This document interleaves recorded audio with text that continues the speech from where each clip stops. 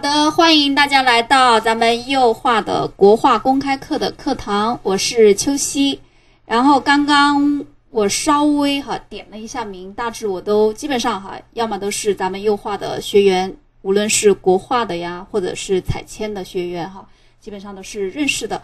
那有没有有没有我们非 VIP 的学员，或者是说还没有接触过国画的学员？我们的老学员哈，可以敲个一，我们来熟悉一下。新的学员呢，我们可以敲个二。因为现在七点过两分，七点过三分，我们可以花个五分钟的时间，相互的熟悉一下。因为每每节课哈，可能都会有新学员进来。山外来风，企鹅。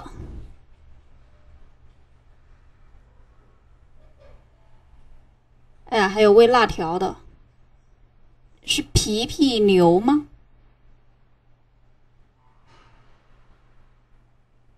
叫 biu biu，缥缈公主二零一九，微风细雨，敲一的也很多哈，哎，敲二的也也有，然后有的是一一串那个数字。八九八三四五九九六八幺，感觉突然有点像那个一般看什么新闻呀，或者新或者是其他的哈，就拨打热线几几几几几。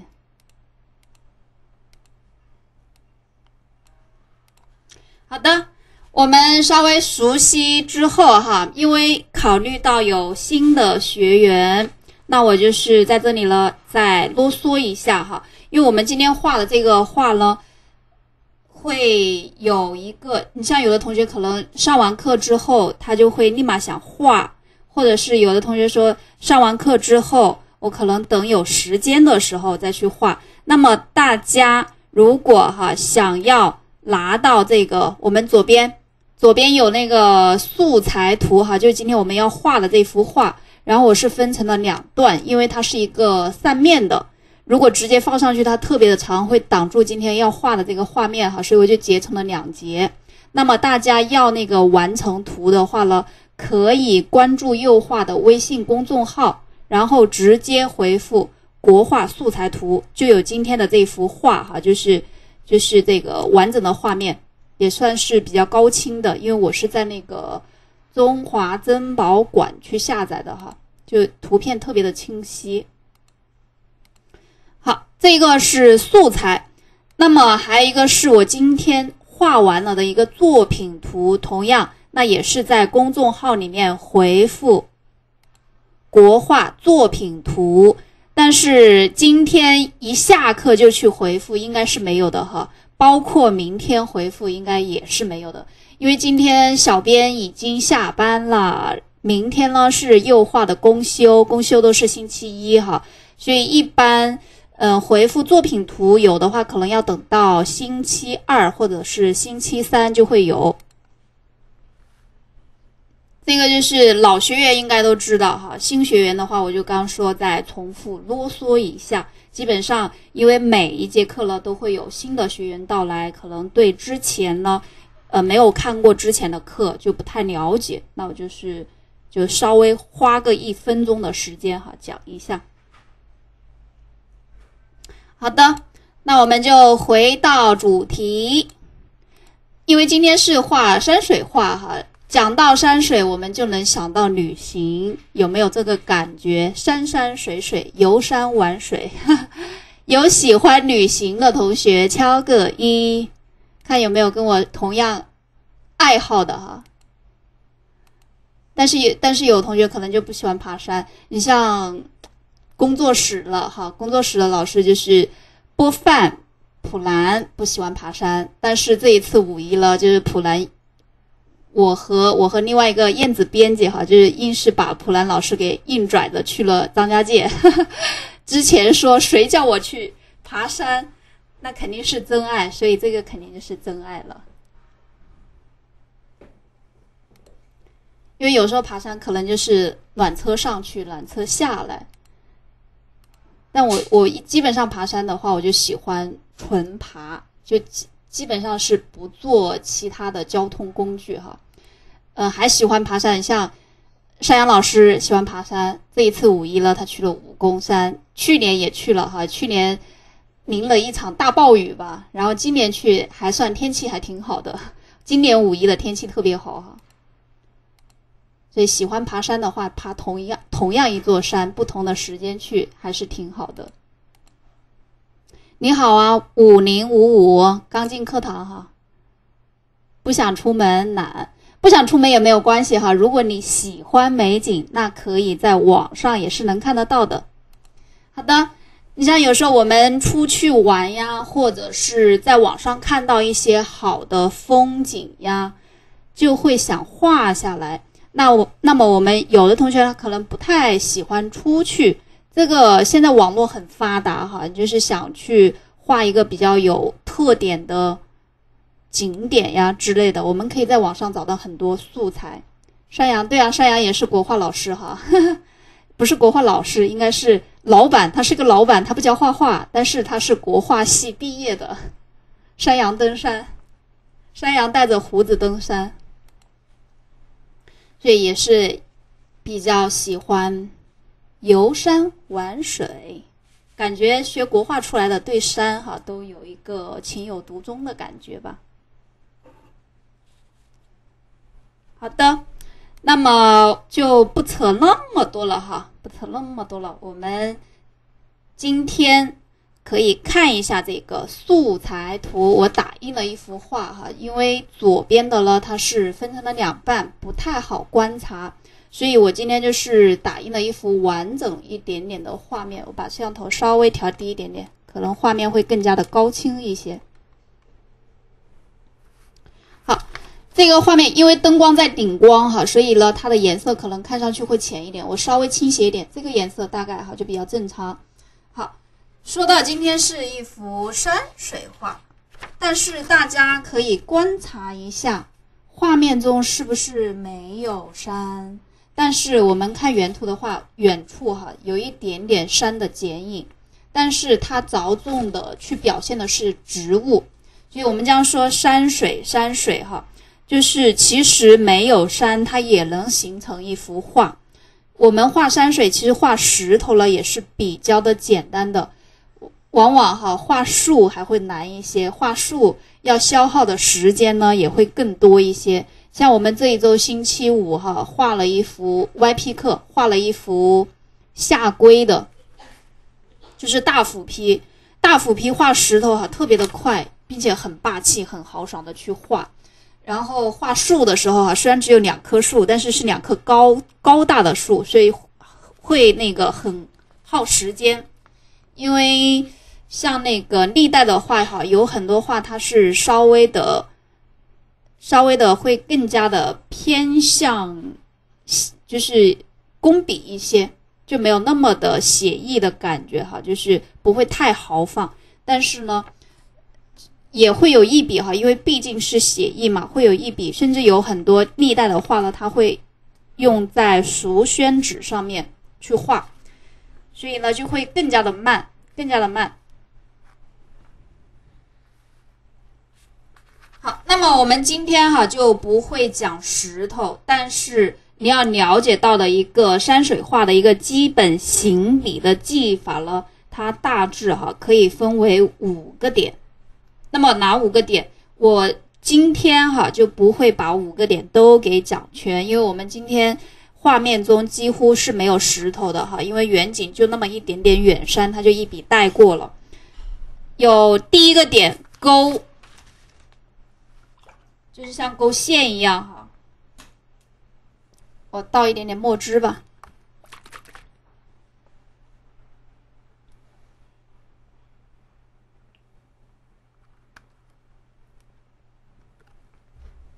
倒一点墨汁。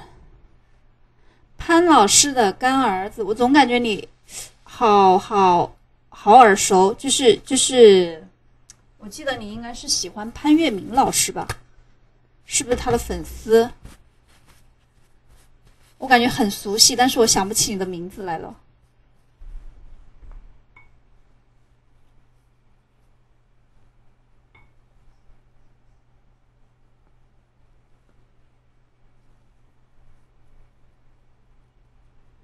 偷偷的看一会儿待会儿还要去搬砖辛苦啦。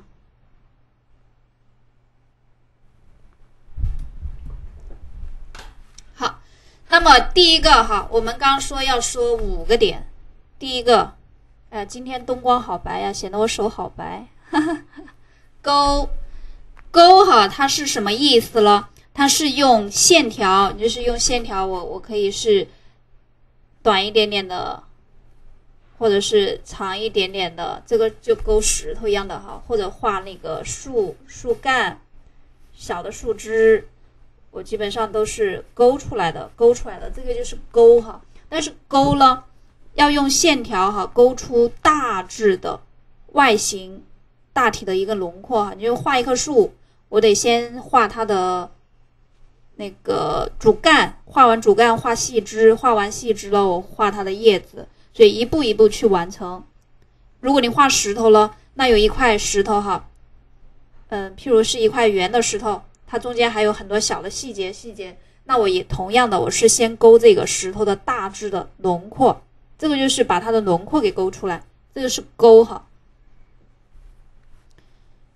勾轮廓或者是勾一些山石的。主要的结构，所以你勾这个石头，我先把它大轮廓勾出来之后，它里面还有一些主要的结构也要去勾。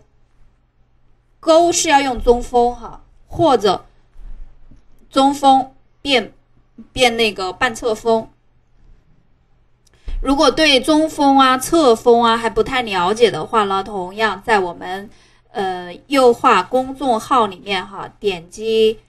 图文教程国画的一个基础必备里面有讲到握笔哈，怎么去握中锋是把笔立起来，那我们勾的时候，很多时候是基本上是用中锋。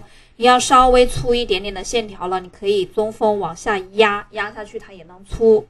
那么还有一种情况呢，我可以中锋转侧锋，半侧，半侧就是笔不是竖着的了，它会稍微的往右边或者往上往下就打倒一点点，没有这么的笔直。没有这么的笔直哈，这个就是半侧。那全侧呢，就是笔全部倒下来，它就会画的很宽哈。就你的笔锋有多宽，你全侧画出去哈，它就有多宽。所以我们不需要这么宽的勾勒的线条，我们就用到一个半侧就可以。中锋转半侧，你看它就会有细的有粗的，这个是勾哈。勾的话，大致去表现这个山体的大轮廓就可以。那么第二个村呢，我就不多讲。因为我们今天不画石头，这边是一个皮子哈。村的话，下一次有机会再画山水，就是挑有石头的画，我就会专门着重去讲村和擦。所以一节课的内容哈，该讲几个点就讲几个点。讲多了消化不了，我们今天主要哈，因为没画石头，你讲多了这个了，也会容易忘记，所以这个留到下一次哈，下一次去讲。今天临摹左边的吗？是的，是的，是的。刚才搬完砖，现在才学习会儿，真勤奋。我平时上完班有嗯，但是最近也也上完班之后哈，会去会去练车。也比较辛苦，练完车回来只想躺着。好，这个我们忽略不计。呃，下一次哈，下一次可能因为下一周是水彩公开课，水彩公开课之后呢，可能还会有国画的公开课，所以如果再画山水的话，我可能就会挑有石头的山水去画哈，就着重讲这两个点。那么第四个呢？第四个是染。染的话，今天也要讲哈，因为有颜色要染色。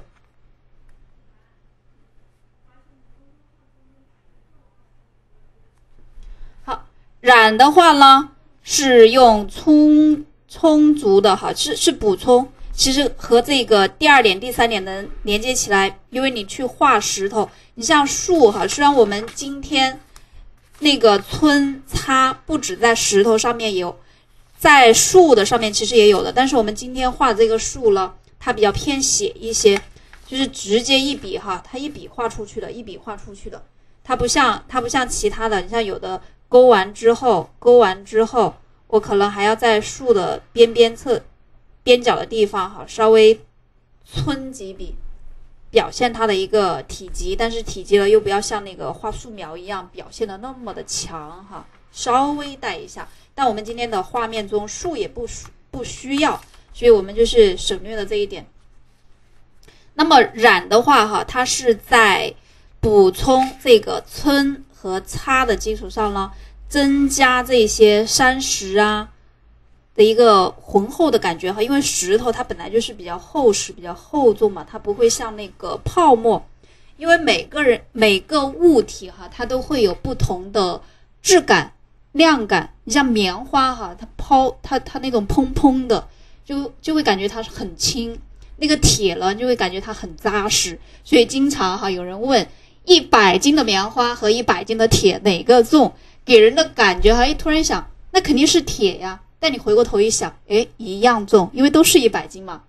给人的感觉就棉花它就是那种很很轻飘飘的感觉哈，铁的话它就是那种特别扎实的。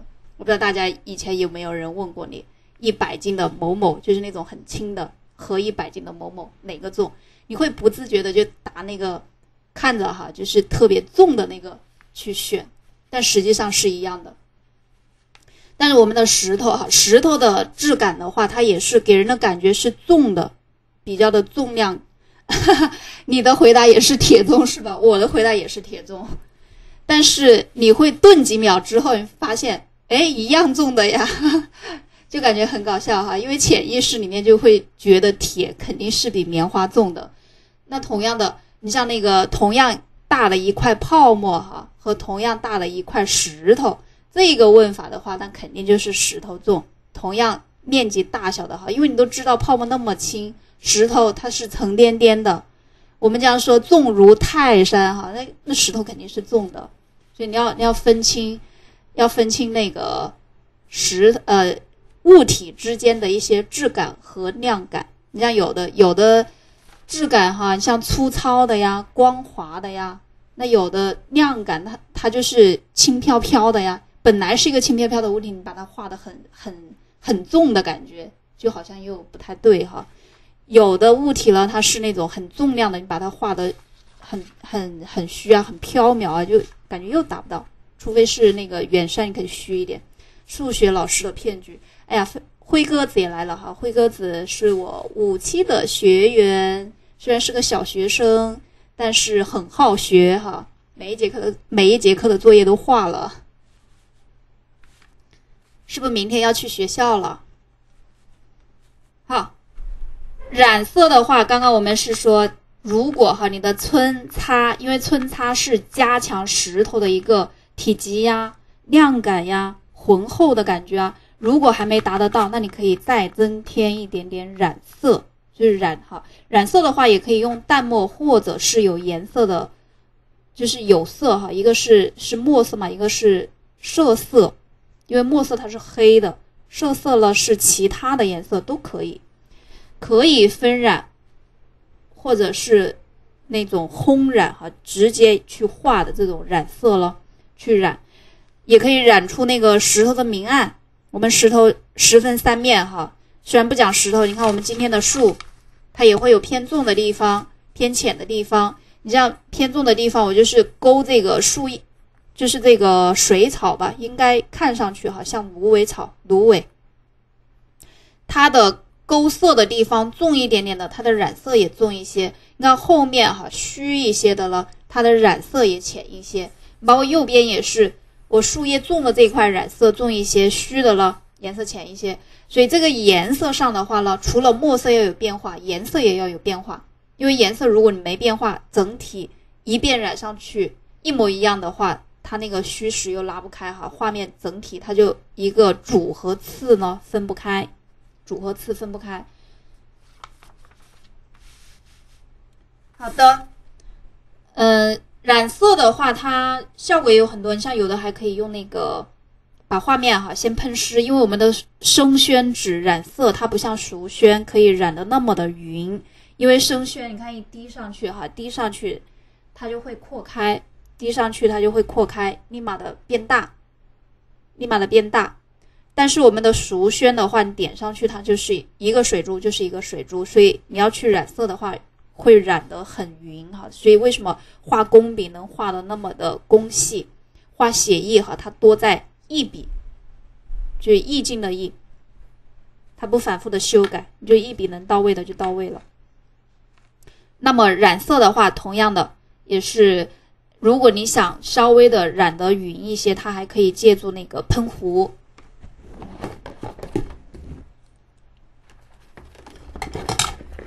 我这边有一个有一个喷壶哈，有一个喷壶，但里面是酒精，大致哈就可以稍微的把它喷的润一些，然后再去再去染，它就它就能达到那个稍微匀一点的效果，而不会说哎我直接去染它接的那么的生硬，稍微把它喷喷的润一点点再去染的话，它衔接衔接上会更加的自然一些。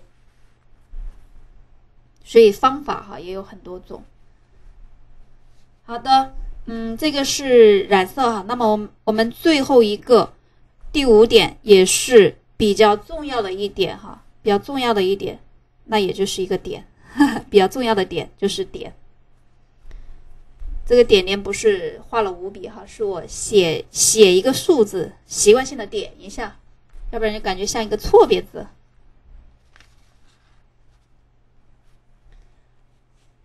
好的，嗯，这个点的话呢，一般情况下哈，我们是为了丰富画面。你想想看，我们画面中再拉近一点哈，左边因为左边勾的多，左边很多这个植物，右边大家有没有发现有墨色的点点？有发现的敲个一，有没有发现墨色的点？大家有一双。善于观察的眼睛，喷壶画雪景都可以啊，喷壶画雪景也可以的呀，就是画大面积的染色，因为生宣它没有那么好衔接上嘛，所以画大面积的染色的时候，你可以用喷壶。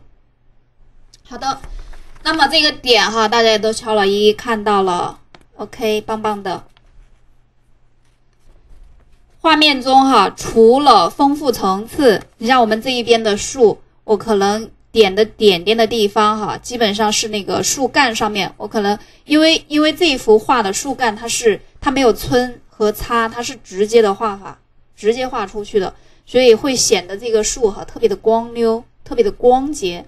为了表现树皮的质感呢，树皮基本上哈很多是粗糙的质感，你像梧桐树，梧桐树的。树皮它可能那个皮掉了之后比较光滑，所以这个也就是画每一种树哈，每一种树它的特征特点不一样。所以为了表现这个树皮的一个粗糙的质感呢，也点了很多点点哈，去破一下。还有一个哈，这个是丰富画面的一个层次，破一下画面。第二个点呢，还有一个很神奇的作用哈，它可以弥补。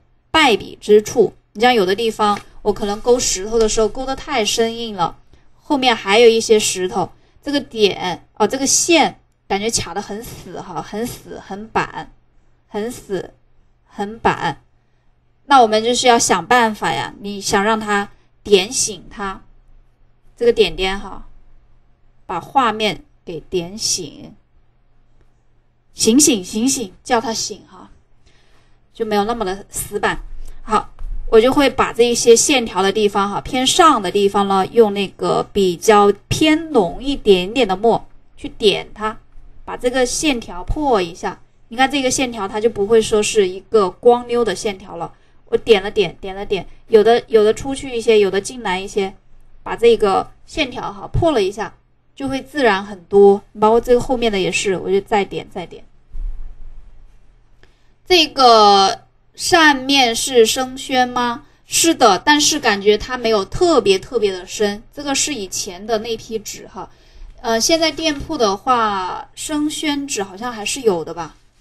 因为我我刚刚没有特别去那个淘宝店和微店哈去看，应该是有的。因为每一批纸不一样，有的有的感觉就是特别的深。有的了，因为我最近就是在试那个卡纸嘛，在试卡纸，像这一批的还没有浸哈，就是我试了这个生宣纸，它就特别的沁，特别的沁的话，就是感觉就会很难驾驭，很难驾驭的话，这一批纸我就可能这个样品哈，我就不考虑，不考虑。然后有的熟宣纸的话还行，就是生宣那个生宣沁的就感觉有点超出了那个范围哈。这批生的特别厉害，生的特别厉害的，你行笔的时候稍微的快一点就可以。这个是生宣哈，生宣纸，但是比我们的那个单张的白色的生宣纸的话，要稍微的没有那么沁，因为本来这个镜片卡纸它就已经是脱标好了的，脱标好了的话呢，也会。画上去的感觉哈，效果也会更加的好。你像我们单张的生宣纸，你画上去的感觉，就是还是要再去脱芯，去裱个框，不一定裱框，就是脱完芯之后，整个画面都会好很多。因为这个镜片卡纸，它就已经可以称作是作品纸了吧？你画完之后直接装框就可以了，所以也是比较方便哈。好的。嗯，这个是点哈，第一个点醒画面，第二个呢可以丰富层次，所以一般点的时候呢，你也可以用重一点点的墨。那么重墨大概它是一个什么样子的感觉哈？同样的，嗯，我又想到那个教程里面，好，找到右画哈，教程好像是去年去年年前吗？还是好像去年年前吧，画了一个雪景。你看这里有一个基础知识，有一个课外教程，有一个课堂笔记。我们点击这个课堂笔记，找到国画这一栏，找到国画这一栏。好，这个教程好像是去年的。这个里面哈，因为我刚刚讲到了重墨，那什么墨色是重墨？因为这一节课有讲到那个。有讲到墨的五色哈，所以你对五色还不了解的话，你就可以看一下这一次的录播。这一次是画的一个雪景，讲过讲过墨的五色大致是什么样子的：焦、浓、重、淡、轻。我们用的一般可以用重墨或者是重墨和浓墨之间的墨色去点，这个就是比较细致。因为因为这一节课我讲过了的，我就不重复了哈，大家。感兴趣的话，对山水感兴趣，那你可以稍微看一下，并且这个是咱们小谭老师哈转化成了一个文字版的，文字版的也可以把这个雪景给画了哈，比较有意思有味道。最下面直接是这个视频，两个小时十三分钟。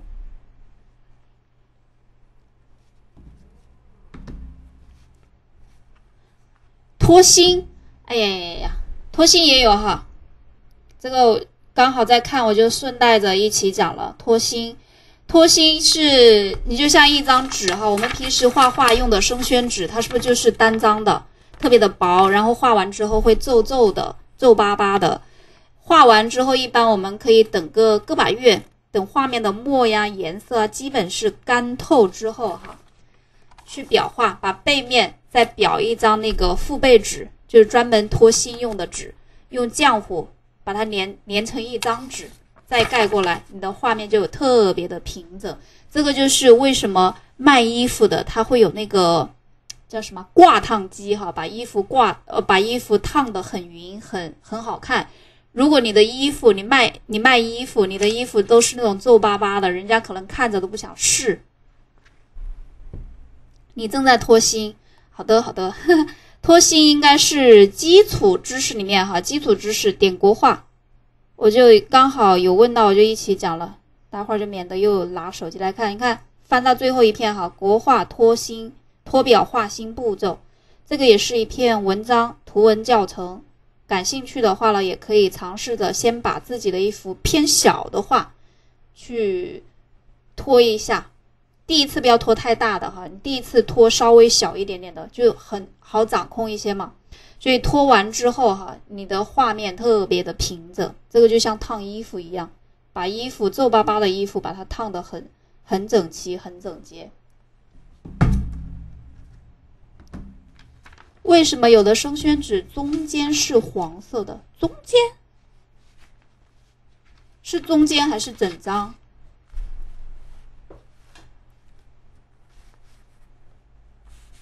是整张纸吧？那个叫仿古纸啊，仿古色。你看这个就是仿古色，这个也是仿古色。好，这个是点哈，点的话在画面中非常的重要，所以一般情况下我们基本上哈是会是会有这个点点的，这一步也不能省略哈，这一步不能省略。好的，那主要哈记住一个勾，我们这一节课会讲到勾染。点，这两个先抛开，我们下一次有机会着重讲这两个点。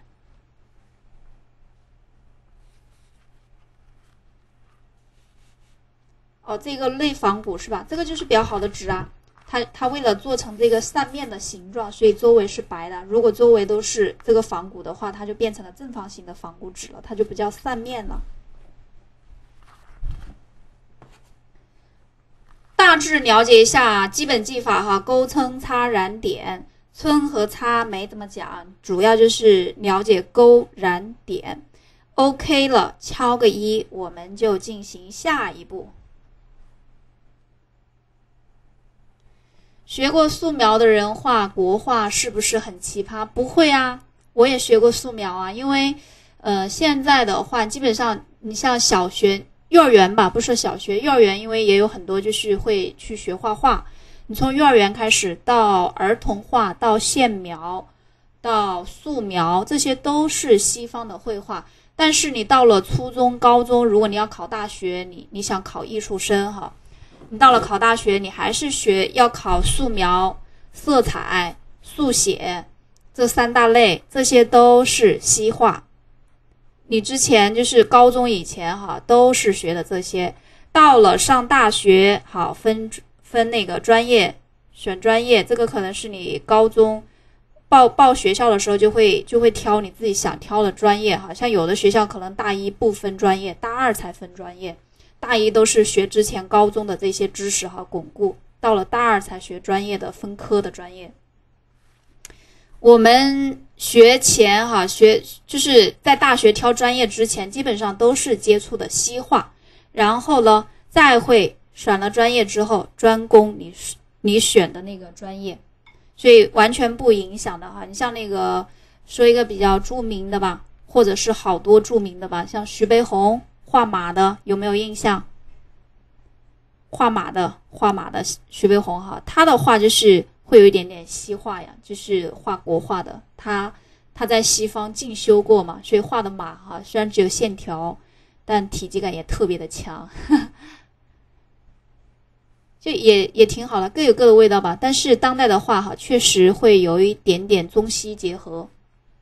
但是你也可以走那个传统哈，就按传统的来，就按传统的来。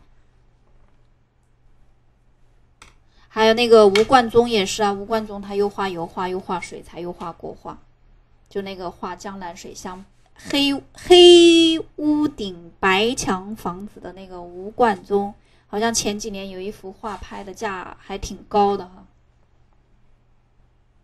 小颖来了，好的，欢迎，好，这个没问题哈，没问题，我就放开边了。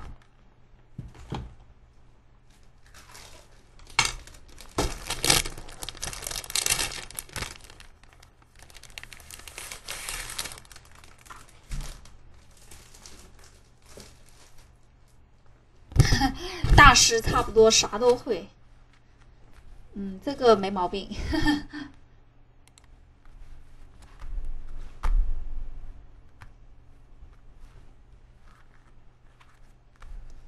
啊，今天的话呢，主要用到这两支笔吧，一个是墨白，墨白是我们工笔套餐里面的一个分染笔，就是颜色的分染笔。还有一个是青锥哈，青锥的话呢，是我们写意套餐包里面的一个尖毫笔，这两支都是尖毫，一个是工笔套餐包里的，一个是写意套餐包里面的尖毫笔，它就比较实用哈，结合了羊毫和狼毫之间的优点，所以我一般也。也会比较喜欢用尖毫笔去画。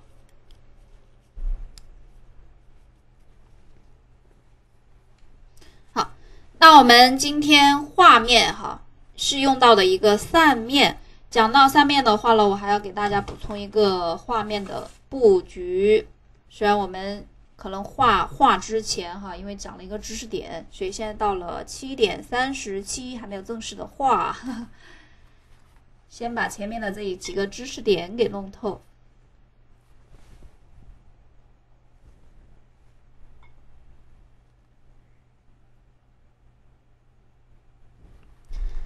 张大千和徐悲鸿哪个更有钱？你是说他们那个他们当时吗？还是说他们那个画哪个更值钱？还是说他们生活的时候哪个更有钱？反正那个那个年代基本上都没有特别特别有钱的哈。张大千应该还好，张大千当时他是四川人哈，然后画画的不错，因为喜欢模就是临人家的画或者模仿人家的画，就模仿的很好。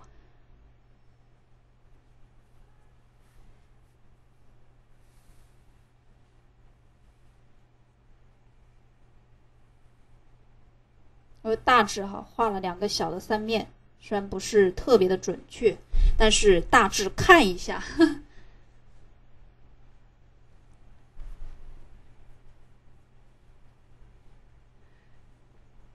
谁过得更好？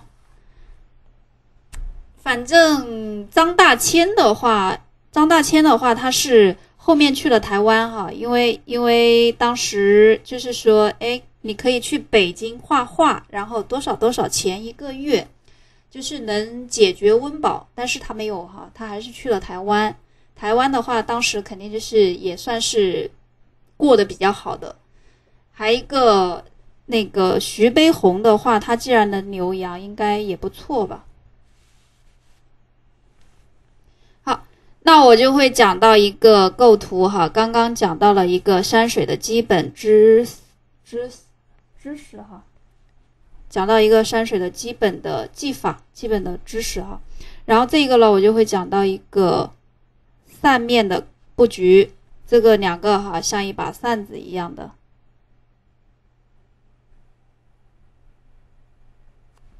好，讲扇面布局的话呢，同样分为一个点、两个点，可以用两个方法，所以我画了两把扇，画了两把扇子。第一个呢，是一个放射状哈，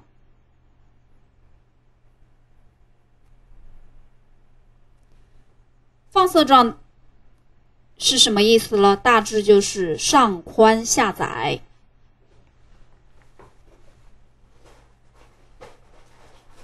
我这里刚好有一个那个扇面的哈，是一把扇子，我把它拆开了，它的那个扇骨还也在这里哈，你看。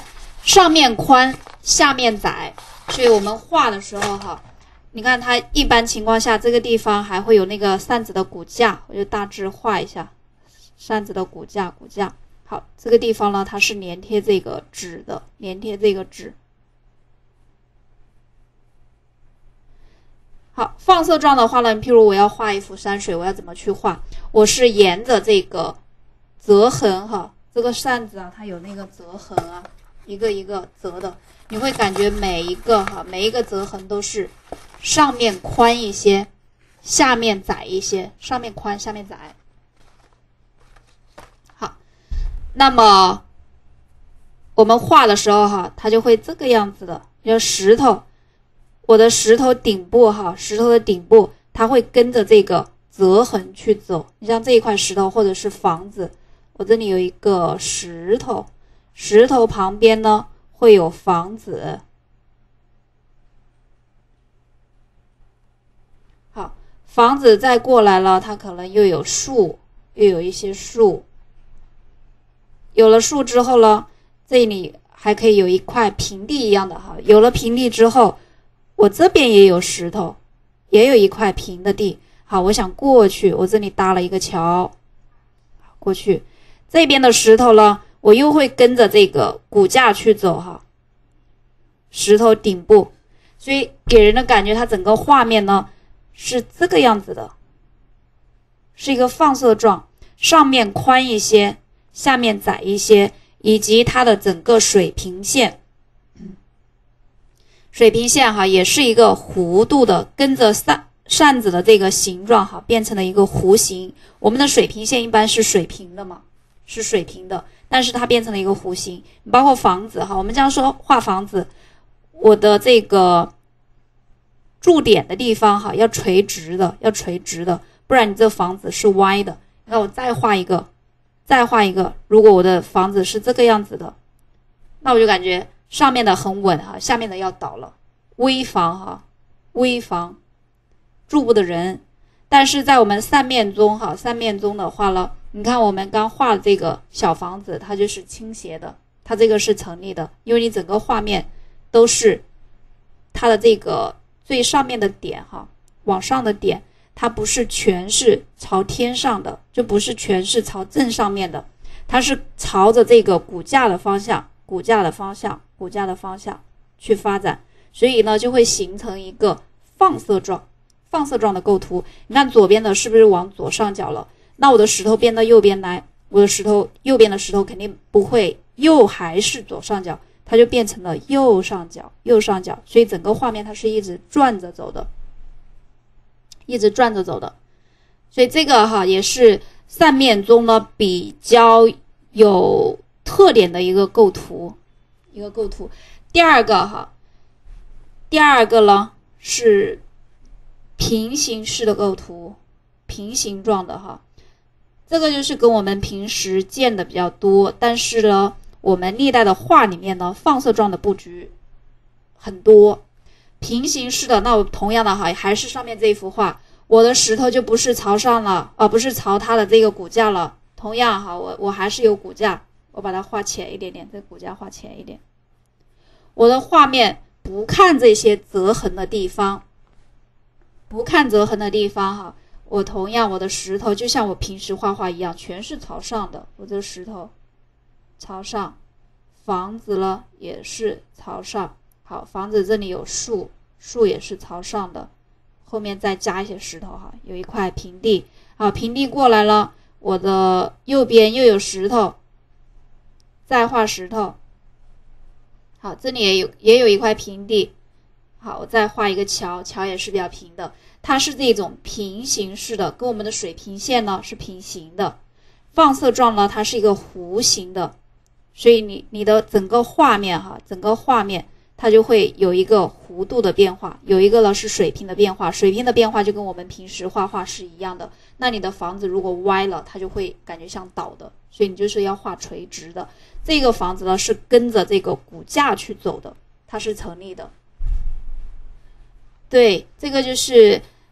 嗯，因为因为如果先接触的西方的绘画，再接触国画的话，可能你会觉得国画的，呃，构图哈会很怪，因为西方的绘画和咱们的国画哈还是不太一样，就是透视上面是很不一样的。因为因为西方的绘画哈，它就是讲究焦点透视嘛，焦点一个点，国画里面的布局呢，它是一个散点透视，画面中很多个点。所以完全不一样，因为现在刚好就是五期哈，五期写意五期的课程，现在就刚好上到了山水第五节课，第一节课单独讲石头，第二节课讲树哈，第三节课点讲点景，第四节是披呃披麻，第五节斧批，我们上到了斧批，下一个星期呢是画一个长卷，要教大家接纸，就一幅画我画很长很长，我的纸不够，我要去接纸。所以教大家一个小小的工艺活哈，就是像做手工一样的感觉。对，左边呃上面的是那个放射状，下面的是平行式的。平行的就是它的上面的哈顶点都是朝上的，都是朝上的，就不要看这个扇子的骨架了，都是朝上的。然后这个呢都是朝它的这个折痕的方向去走，所以一个是放射的，一个呢是都是顶顶上的。嗯，国画你要说它有难度吧，它确实也是有一点点难度哈，但是也不要太慌。呃，一节课听不懂是很正常的哈。我们的我们的 VIP 的课程都是很长的长课程，一一套下来二十八节课，并且时不时的还会有 PPT 的授课，所以一节课听不懂的话是很正常的。还有一个呢，就是那个公开课的话，你像有的像我们这节课勾蹭擦染点又只讲了三个知识点的话，又没有那么的像系统课那么的连贯。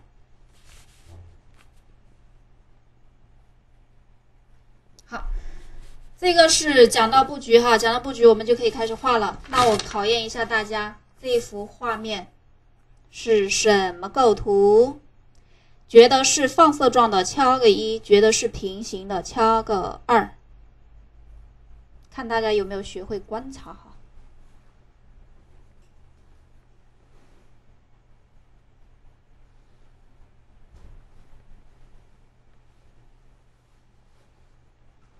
有敲一的，有敲二的。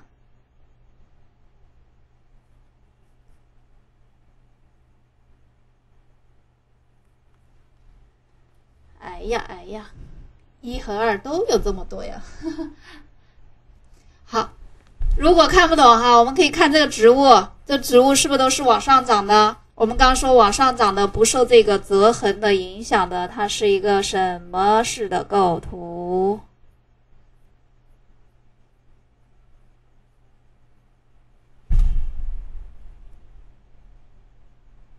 扣一的对的是吧？是的，都朝上的，所以呢，它是一个平行式的构图。你看这里是水，水平线，它是一个横着的，所以植物都是往上长的。如果你是一个那个弧线的话，弧线它是这个样子的一个弧度嘛，那么这个植物呢，它就会沿着这个弧度跟它形成一个垂直的角，跟它形成一个垂直的角，所以这个植物它会它会这样子长，顶部哈会会朝这个。放色像像那个放烟花一样的哈，放开。对了，平行的。好的，了解到平行，那我们就开始画吧。两支笔哈，这个的话两支笔都可以用。你像平时你觉得你握笔的力度较大的话，你就你就用这个小笔去画。平时哈你能掌控这个偏大的笔，你就用大笔去画。所以这两支尖毫笔都可以。你像有的同学可能一画哈，他就特别。用力的往下压了，但是你用大笔去压的话，你的笔触就会大。如果你用小笔哈，你再往下压的话呢，它都可以的。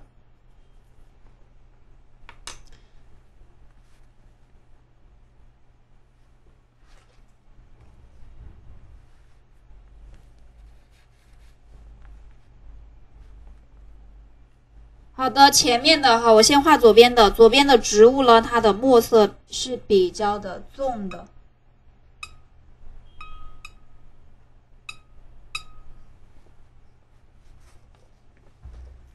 桥没有垂直，对，这个是不是平直的桥哈？它这个桥就是有点拱，所以我就是最怕讲一个知识点的时候，大家把它记得特别的死。讲一个知识点一定要会贯穿，要要会学活。我最怕记死，记死的话就容易钻钻进去哈。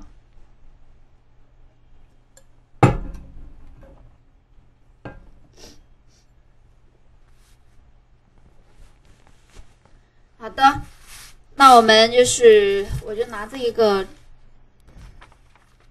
纸哈，看一下，先要大致的定一个布局。布局的话呢，什么叫布局？布局其实就是国画里面的一个，呃，西方的绘画叫构图，国画里面就是布局呀、章法呀。就布局就整个画面你布布在哪个地方，这个也就是写意哈，它又改不了。你画完之后了。是什么样子的？你就是不光是只看这个画的部分，你还要看留白的部分。所以，所以你不要光只看你画的那些部分啊，留白的留白的形状要不要好看？好的，那我们就是沿着这个地方去勾植物。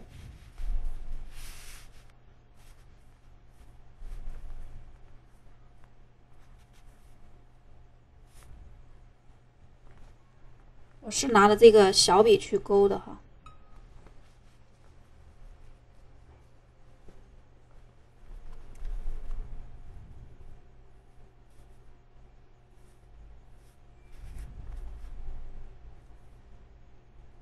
我待会儿把这个植物画完了，我就讲一下那个植物的运笔。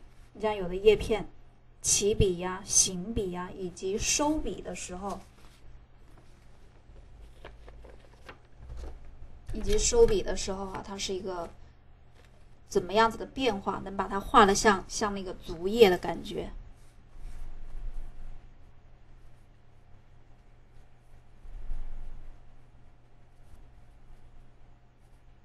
因为刚前面讲了很多哈，我们就是讲多了容易晕，所以我先画一会儿，画了之后了我再来讲。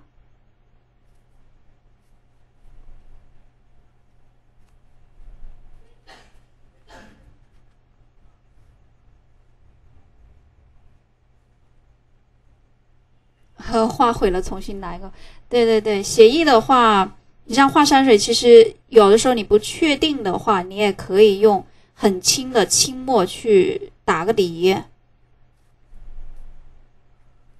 但是我们现在教学哈，基本上就是直接画法，因为因为你去打底的话，第一个耗时，因为毕竟大家都是成人哈，呃，时间上的话呢没有那么的充裕。第二个呢，就是我觉得打了线条之后，它会给我们造成一个什么样子的后果了？虽然可能你打了形，到时候画面的感觉会更加的好，但是它会把我们的胆子越越搞越小哈。因为你随意去画，你胆子放开了呀。你画写意，你就是要要稍微放飞一点点呀。那么严谨的去画，又不是画工笔是吧？它就容易框死。所以这个也就是线下为什么很多那个小朋友学画画，以前就是先。哎，你先用铅笔画一下，画了之后，你再用那个马克笔啊什么的去复勾一下。其实这种的话会很限制小朋友的一个肯定哈，就是那种果断吧，果断的去画，因为磨磨唧唧的在那里画个几遍，影响他的判断能力、果断能力。所以现在很多线下的画师哈，他就直接用马克笔画，就不用铅笔去打稿子啊、起形啊之类的。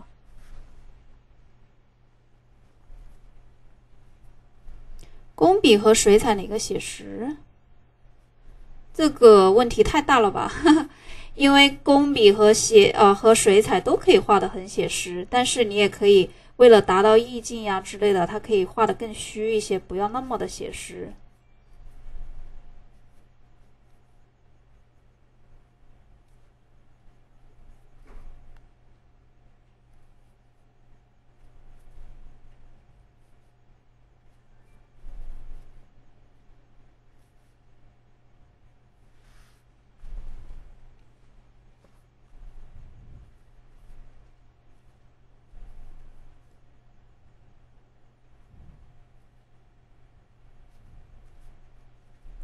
一般情况啊，是有一个主枝，主枝上面呢再长一些小的叶子，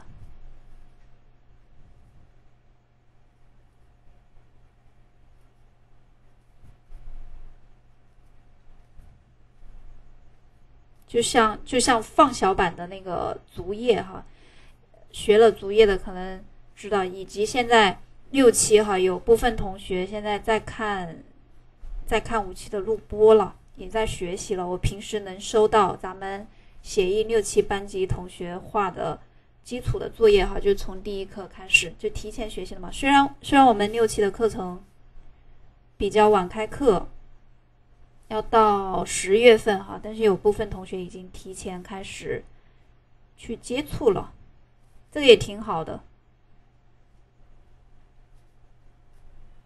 但是也不用太累哈，就劳逸结合。因为我我一般教学的话就是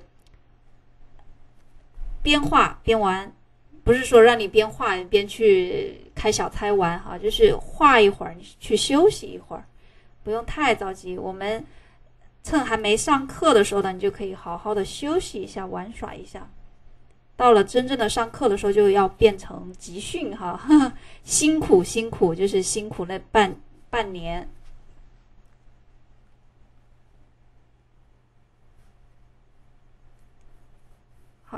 再往左边，有的时候起笔哈，你像起笔刚刚有的是虚的，那有的起笔呢，你可以稍微的顿一下，顿笔。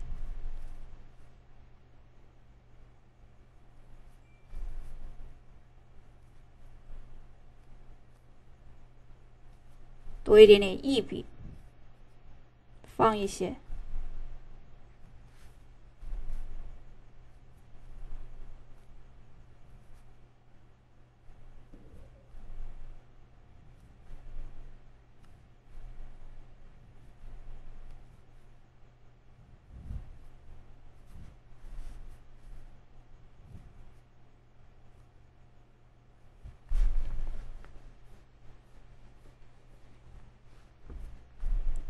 对呀，学写意，嗯，怎么说呢？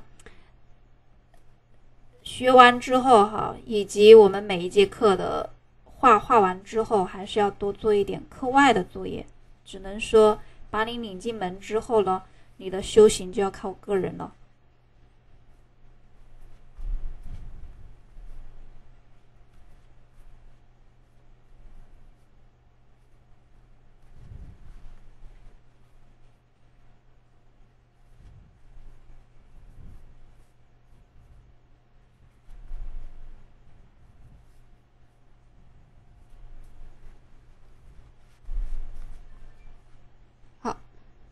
先大致的哈，把这些前面的重的把它给画了。待会儿哪些地方呢？该密一点点就再加一点儿。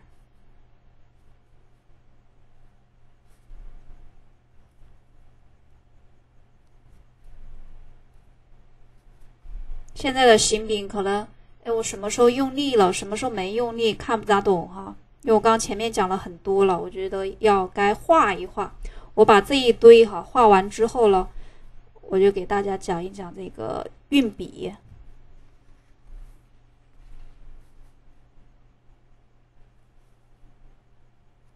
对，山水画基本上先画近的，再画远的哈。它跟咱们之前学的彩铅不大一样，彩铅彩铅先画先画近处啊，先画远处的，再画近处的嘛。所以这个也就是说，每一个科目哈，它的方法是不一样的。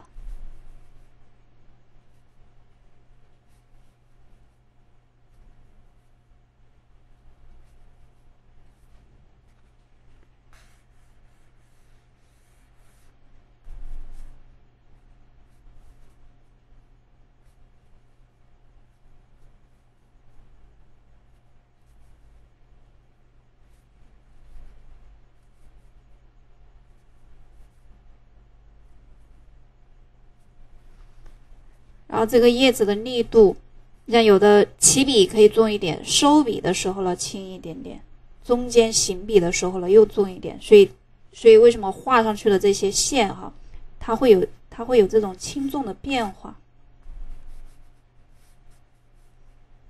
先画它的主干，画完主干之后呢，我们再去给它添加一些叶子。叶子画的时候，有的就是要压一下这个它的梗哈。它不是说都是挨着这个线去画的，你看有的它是超过了左边。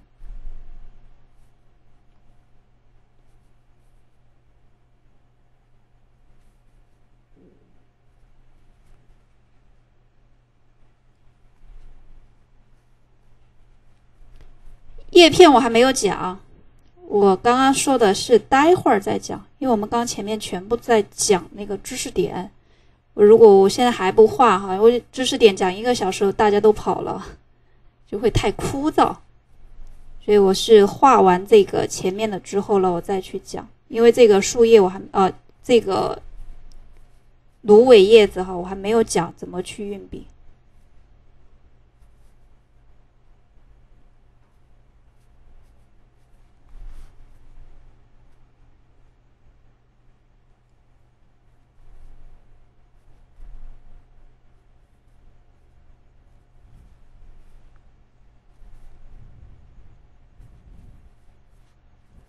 像有的密的地方呢，我就再加一点点就好了。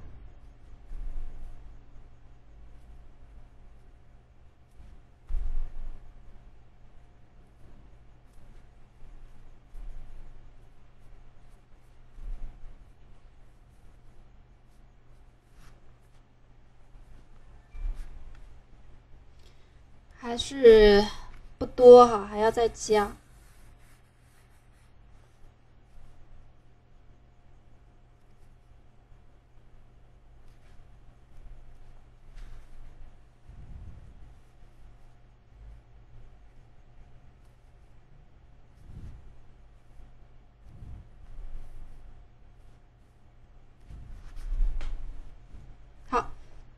画这个重色的时候要注意一下它的凹凸变化哈，你就是画的时候，这个重色的区域不要一就是很并齐的去了，它不像我们可能什么走走那个啥，啊，像那个运动会的时候吧，他不是他不是那个走方队呀，还是军训的时候，那个人最好就是整齐一点好一点，他这个就相反哈，你就刚好是。参差不齐会好一点。你看，矮的、高的、矮的，它就像一个凹的、凸的、凹的、凸的、凹的、凸的，又有小的凹的、大的凹的，多一些变化。你一并齐的画过去哈，它就会又很雷同。所以国画里面呢，嗯，一般对称美的话少哈，基本上不要不怎么要对称的，尽量让它们不一样。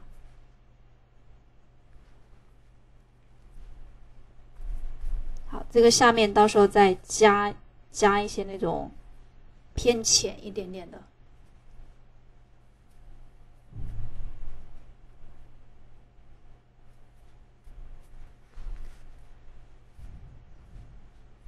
好，我们现在也可以洗笔哈，把笔洗了之后呢，画偏浅的叶片。这个地方可以再密一点，有疏密。虽然整体前面的看着都重哈，疏密是什么？就有密的地方，有稍微稀疏一点点的地方。写意里面这样说的八个字哈，密不透风，疏能跑马。密的地方呢，感觉风都透不过来。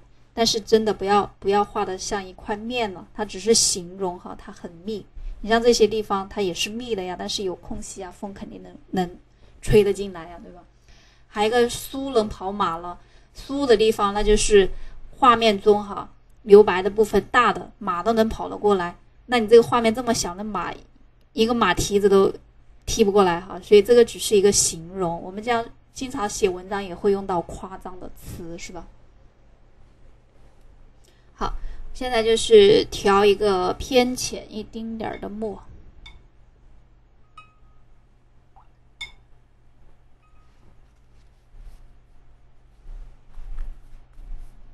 把后面的哈也画一画，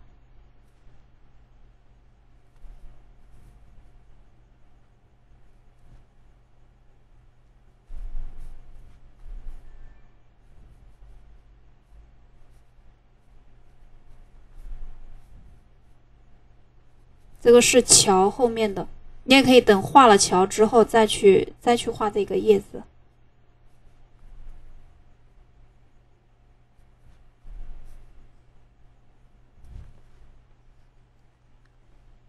线没干哈，这个墨色其实要浅很多，因为在视频里面看，可能你也会觉得它很深。等它干了之后，你就会发现，哎，它浅了很多。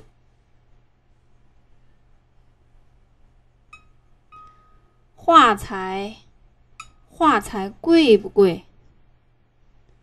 你是说国画的吗？还好吧，有贵的有便宜的，看你自己的选择。因为就好像衣服啊、包包啊，都有贵的有便宜的。你觉得入门的话不需要太贵，你就买便宜一点点的。呃，经济条件好的话，你也可以买贵的。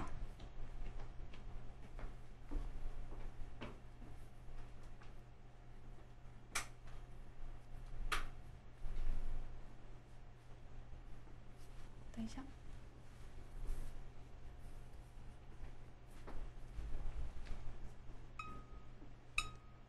这个是按章法来，还是一片片临摹？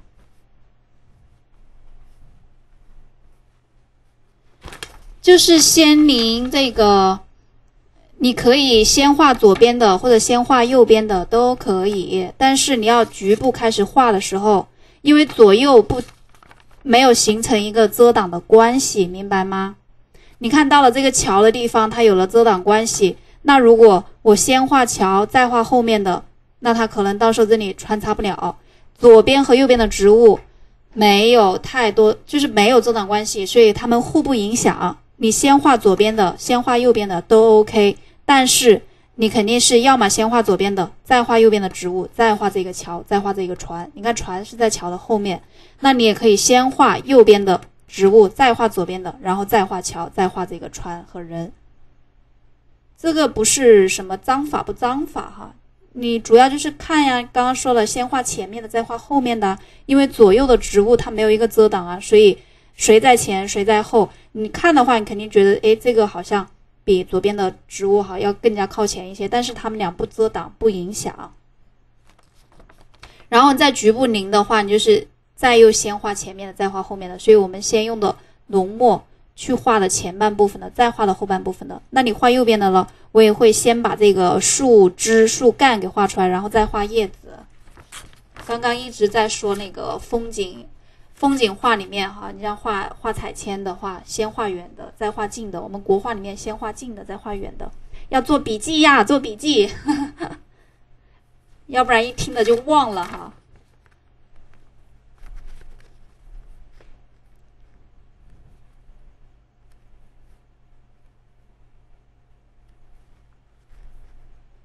你像后面的这个芦苇的话呢，是这个打印有一点点问题，我还以为后面的芦苇偏绿色，那直接用墨色去勾吧。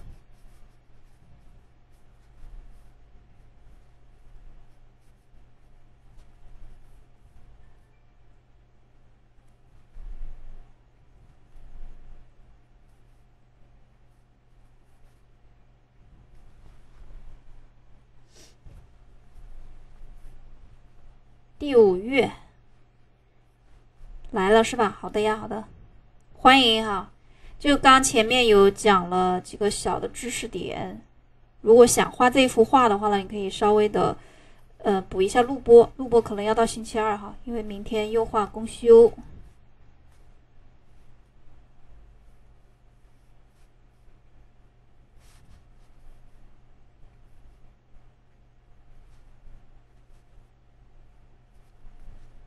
然后想要这个画的话呢，就是在右画的公众号里面回复“国画素材图”就会有。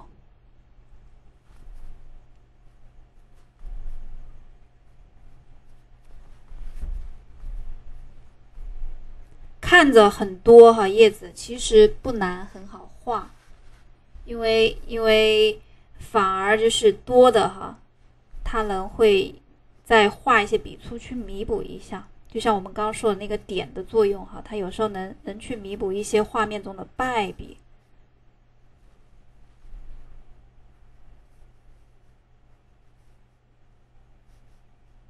有时候越是简单的呢，还没有那么的好画，因为你画错了，它没的地方可以让你去弥补哈。这个就跟我们昨天说像那个写字一样的，写字你看着那个。难的字吧，应该哎写的很好哦，好像反而写简单的字了还会难一些。完整的录像在哪里看？完整的录像优酷可以看哈，然后更方便的话呢，同样的也是可以关注优化的微信公众号，然后有一个公开课回放，这个是比较好找的。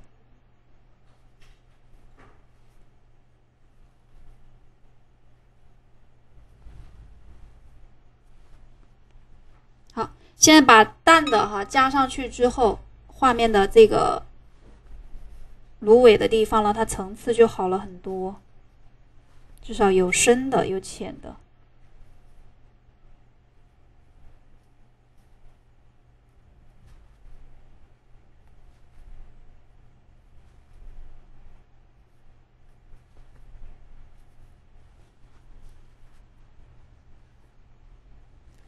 肯定没办法连一样的呀，画都不会临的一模一样哈，就是画家他画同一幅画也不会一模一样，所以你们你们画的时候了赝品哈，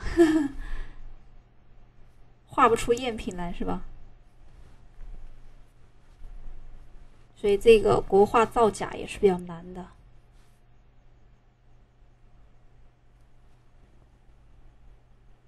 就是张大千本人来画他，同样这一幅画也也不会一模一样。你像梵高画了那么多向日葵，也不一样哈。这个是张大千临的石涛的，所以它旁边有一个临石涛，看的话感觉哎是不是石涛画的？实际上是张大千画的哈，因为张大千模仿能力很强，甚至模仿的人家误以为哈就是真的，所以你能做到这个样子的话呢，那也很厉害。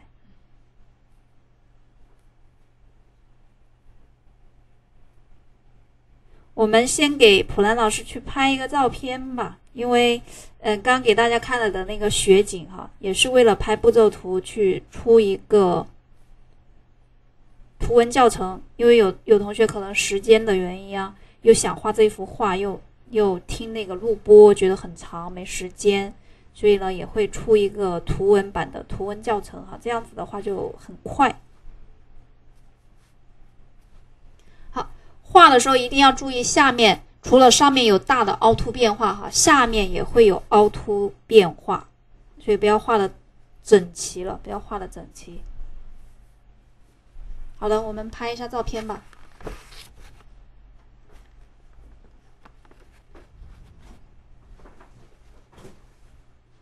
你可能工笔临的像的话还有大可能哈，写意的话很难，每一笔。墨的变化都是随机的，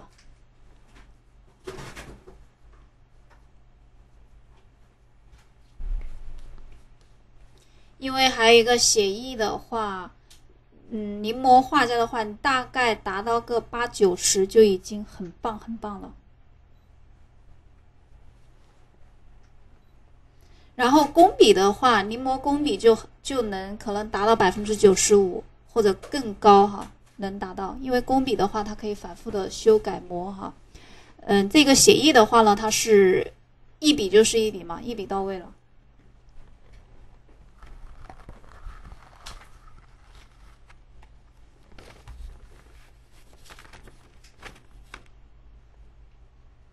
喜欢吴冠中，是喜欢他画的那个江南房子吗？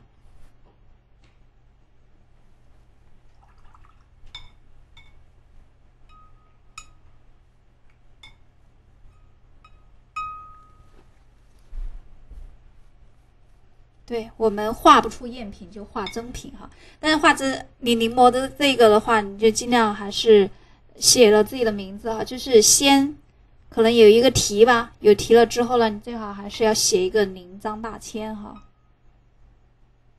要不然你的画就就变成了赝品了，就是造假的画。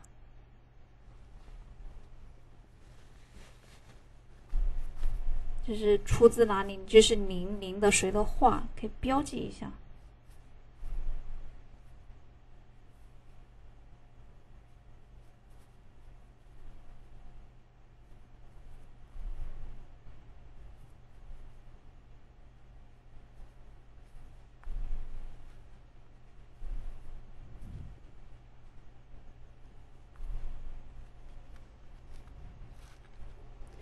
不是标，你看这里啊，落款呀，因为你的画面只有画没有落款，就是不完整的呀。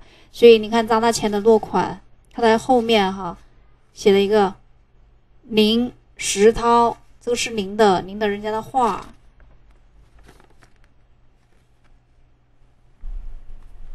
如果你自己创作的，你就你就你就直接提你自己的名字就好了呀。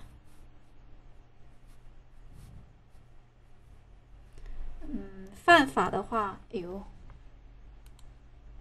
一个广告哈。犯法的话也没有太多的问题。中国对法律这一方面不像欧美国家哈。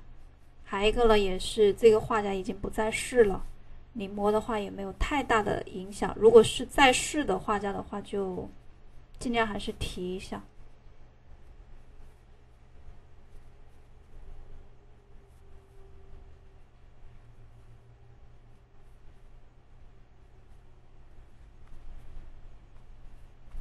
是的啦，张大千，临摹高手了。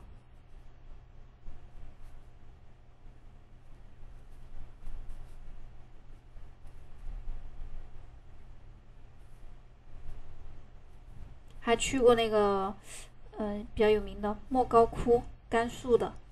也在墙上画哈，但是可能也有人不喜欢他吧，但也有人很喜欢他了，就觉得他搞破坏的嘛。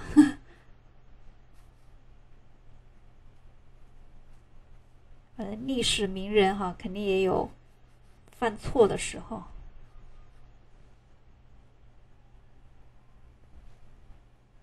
错错错，是我的错。但是它的价值哈还是不可否定的。它的泼墨特别出名，泼墨至少还是一个里程碑哈。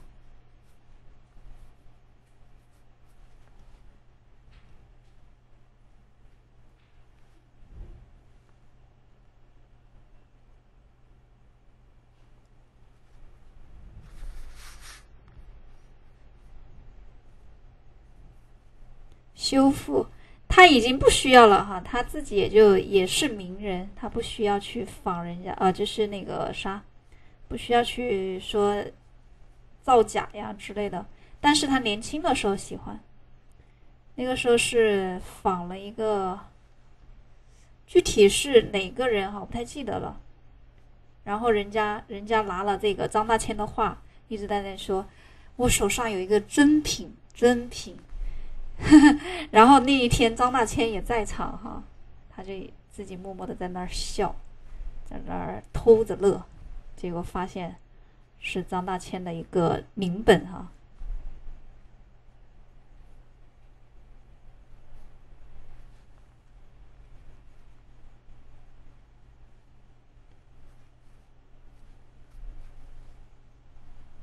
好，这个层次的话呢，也慢慢的出来。出来了哈，我们可以把这个地方再加加一根儿。好，先不着急染色，等它稍微干一点点之后再染色，因为你这个重墨色、浓墨色还没干透的话，去染它很容易晕开，就是晕的很糊，所以你尽量等它干透一些。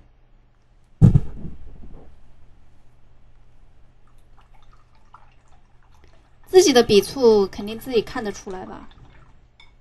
是时候展示一下泼墨了，是吧？好的，我到时候拿桶子来泼哈，来表演一节课行为，呃，那个叫什么？类似于类似于像有一点点行为艺术了，欣赏不了的艺术。好，再到右边来。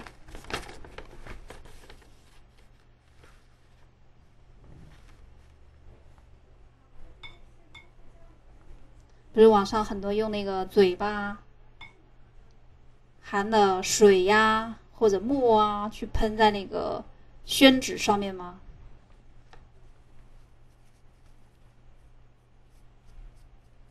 这个右边的哈，我右边的我换了笔了，因为右边的树干呢它会稍微的粗一些，所以我就是拿了这个青锥。如果再用墨白去画的话，就会有一点点细了哈。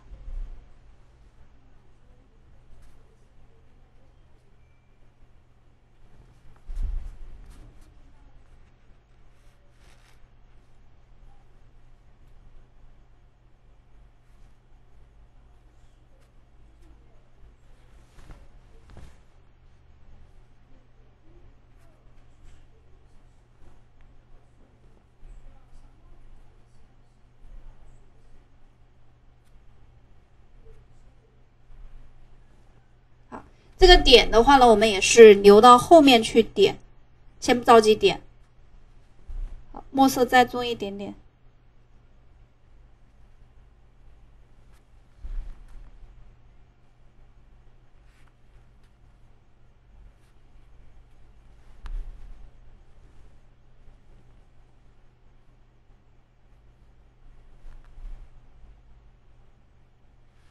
几个枝哈，把它分清。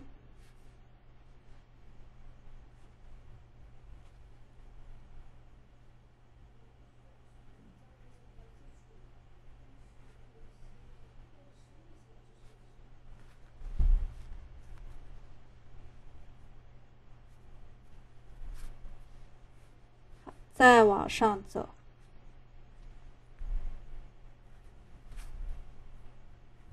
好，这一笔哈，你可以停了。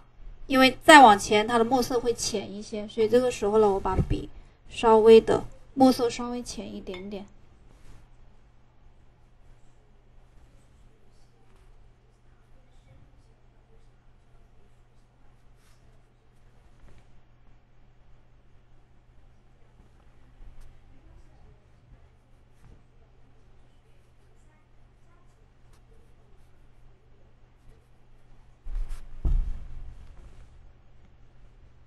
这个枝哈枝画的时候，行笔的力度了，就是为什么有的时候画的线条它的力度会足，你就感觉那个枝很有很有，就是很有苍劲吧。它不是那种软绵绵的线条，软绵绵的线条一般就是你画的慢，有这种劲道的线条了，你就是行笔会很快速的出去，就是不会犹犹犹豫豫哈。犹豫的话呢，线条它肯定就会像那个海草了。所以你画的时候，尽量就是出笔一笔了，你就肯定的往上去走。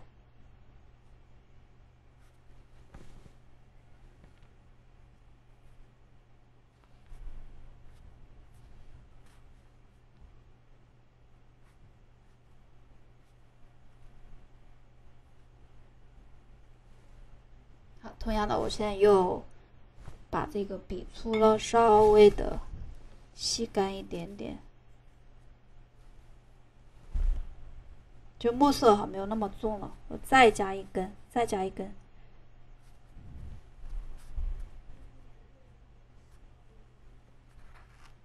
下坡，嗯，所以所以有的时候一些当代的画哈，感觉看不懂，已经达达到了一个境界，想想去玩了，而不是说光顾着去画哈。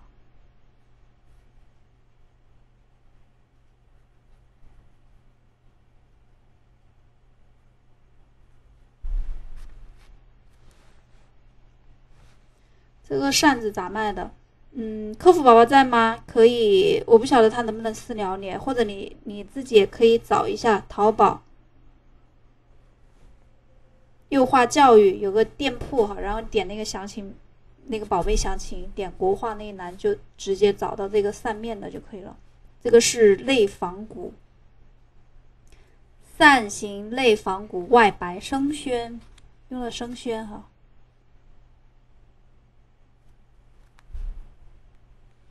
再往后的话呢，这个枝它就更加的浅一些了。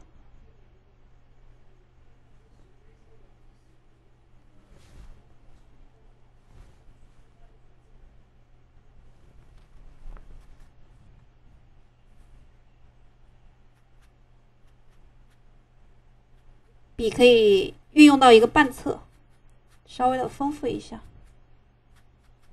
然后又要开始画枝了。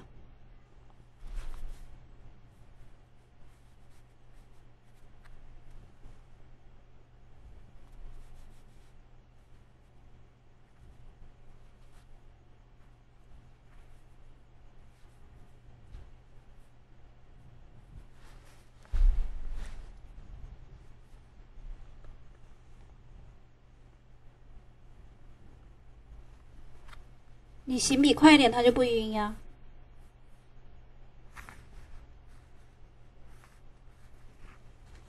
这个是我们刚刚同样的纸哈，就是滴了一滴上去，它是会晕开的。因为我现在画面中不需要它晕，所以呢，我待会儿去试它就会晕开。等下染色的时候，你就可以看到它是晕的。所以，为什么有的同学可能画那个生宣纸的时候特别不好掌控？可能就是技法上稍微有一点点问题，就行笔慢了呀，或者笔上的水分太多了呀，所以那个点了一坨上去，它一下变成了胖大海哈。这个就是，呃，对那个笔呀、墨啊、水呀控制上，就是还有待提高。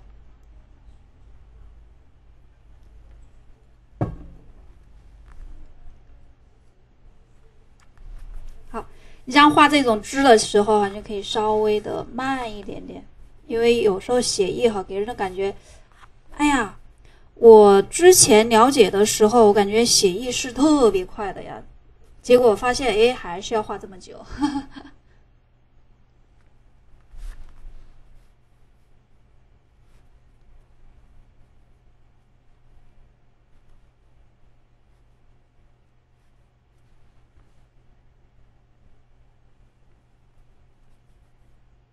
再往下。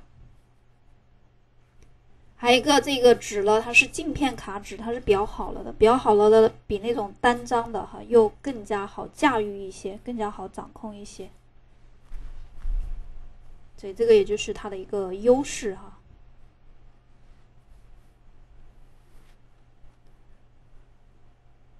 再往上涨一点吧。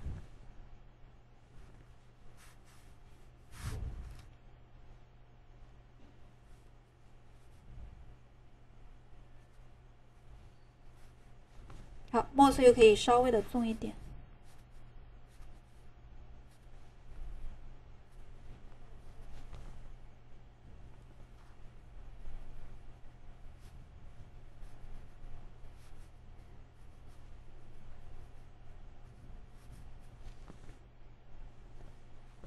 再用浓一点点的去画这个小枝，它的主干哈，主干的墨色都不是特别的多。然后这些小支的墨色呢要重一些，所以这个也就是我们讲到的画面中的墨哈，不要太一样。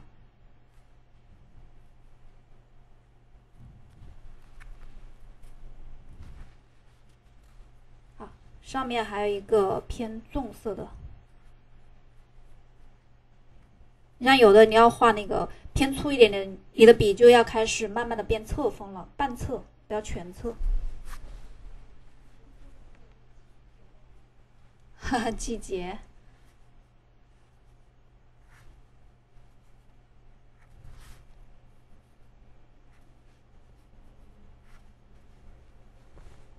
好，再往上。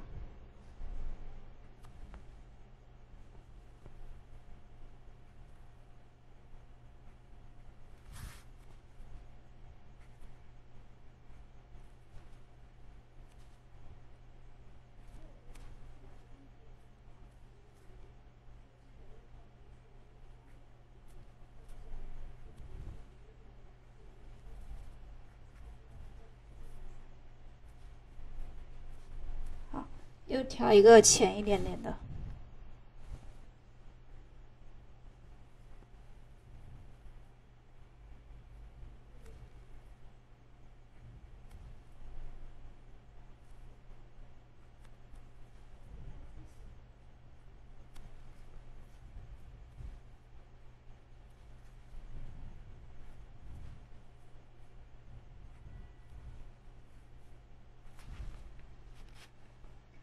这个枝哈，看着哎，好像也挺复杂的。我们待会儿加了叶子了，又挺就是看着哈，就就会简单一些。哟把这个浅的也可以画出来。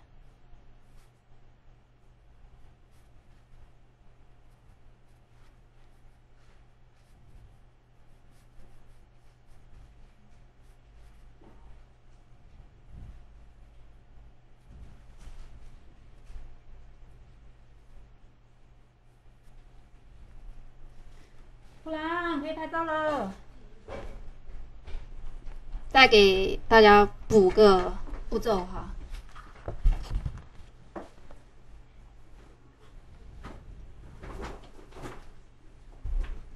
对，因为协议的话，嗯，怎么说呢？确实画错了不太好改哈，但是只要不是特别大的错的话，还是很好调整的。你像如果画面的布局上。我这边画的特别的小，左边留的特别的大，布局上的大问题基本上就需要重画。你像布局上没有问题，或者是有的墨色没有种下去，那你就是加墨色种下去就很好加的。所以国画哈，一般前期可能第一阶段，因为我们现在的课程是分四阶段嘛，所以第一阶段、第二阶段基本哈重画的几率比较高，但是也有同学是一次性过的哈。重新画，它它跟彩铅又不一样，彩铅就是你你在原图上修改进步会更大，我们这个是无法在原图上修改哈。原图上修改会改成煤炭，但有的画面只有一丁点小问题的，就是可以在原图上去做修改。看看五期的作业。我不知道大家能不能看得到，我等下调一下哈。我们先把这个给画了，重新画很快乐。你这个是求虐是吧？好的，我先画了一支小笔。换小笔的话，我们画叶片。这个叶片的话，有一点点像那个介字点，就是介绍的介哈。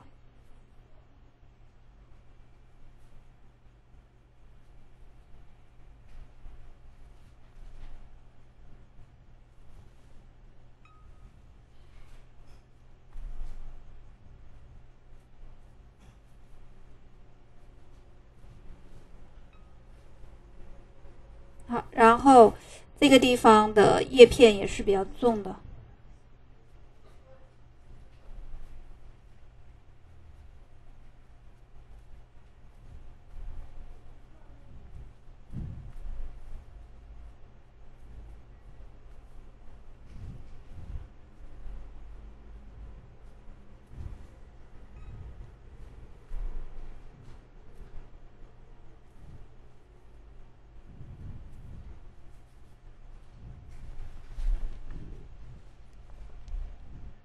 其实画山水还是挺有趣的，山山水水，把自己或者是因为因为我们的课程设置里面哈，最后一节课是创作嘛，所以很多同学会画那个自己去旅行了的地方，把它给画下来，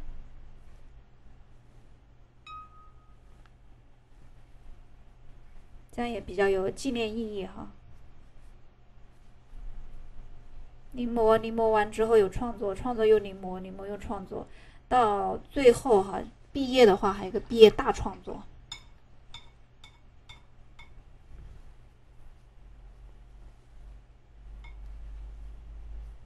好，现在呢，我们又要用那个稍微浅一点点的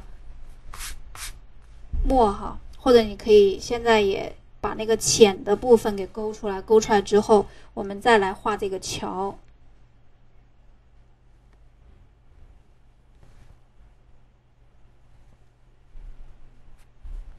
对，国画是大家接触过的，就会越来越喜欢的一个画哈。可能前期不太了解，看不懂。据我了解，就是很多学员就是进了国画之后哈，就爱不释手啊，打开了一个新世界呀。因为往往就是国画哈，了解的人还是不多。因为相比于西画来讲的话。还有一个国画中的意境呢，不是说你没有学过国画的话，一下一看，哎，好像看不懂。但是只要是油画呀、水彩呀，画了稍微写实一点的风景呀，你看，嗯，很好看。所以这个也很容易一边倒哈，因为因为油画和水彩的话，它它画的一些风景就是跟我们很贴近，就可能我们平时见到的一些街景呀。风景呀，就很写实嘛。但是山水的话，你看国画里面都不叫风景画哈，它是直接山水画，就可能多在于意境，就跟我们平时生活中所看到的不太一样，不会这么黑漆漆的呀，然后这么黑的树啊，像炭烧了的呀，就水墨水墨哈，对墨还是情有独钟，就不会画的说。真的跟写生一样画的那么绿啊！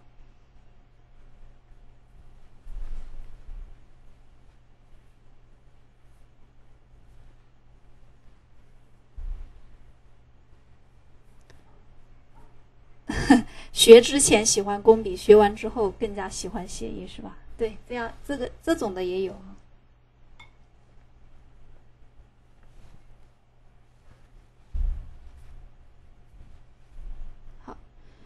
稍微带一些浅的，然后我们待会儿就可以进行下一步的染色。这个都还是勾哈，我们刚刚讲到的三个勾、染、点，染和点都还没有。送辣条，谢谢谢谢，平时特别喜欢辣条，没有辣条活不了。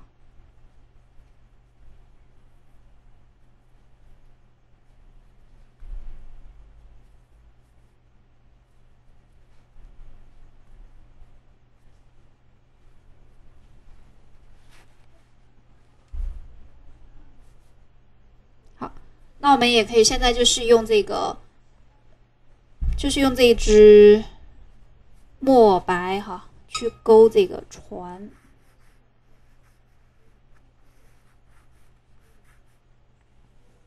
不是船桥。像画面中的桥啊、船呀、人呀，都是点景哈。我们我们那个国画里面，你像山水，然后树云，这个都是分。以前是分两节课，这一次分了三节课，所以把那个点景也加上了。你像点景的话，它包含了哪些了？就是画面中哈，画面中像那个。我们将说到的这个人呀，然后还有那个船呀、桥啊，什么是点景？哈，点就是这个可穿、可圈、可点的点，点点景的话是景色的景，点景。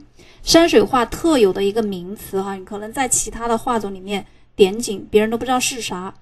呃，所谓的点的话呢，就是小、少、小和少。点景在画面中哈，它不会占有太大的一个比例，小啊少啊，然后意在于点缀哈，它整个给画面起到了一个点缀的作用。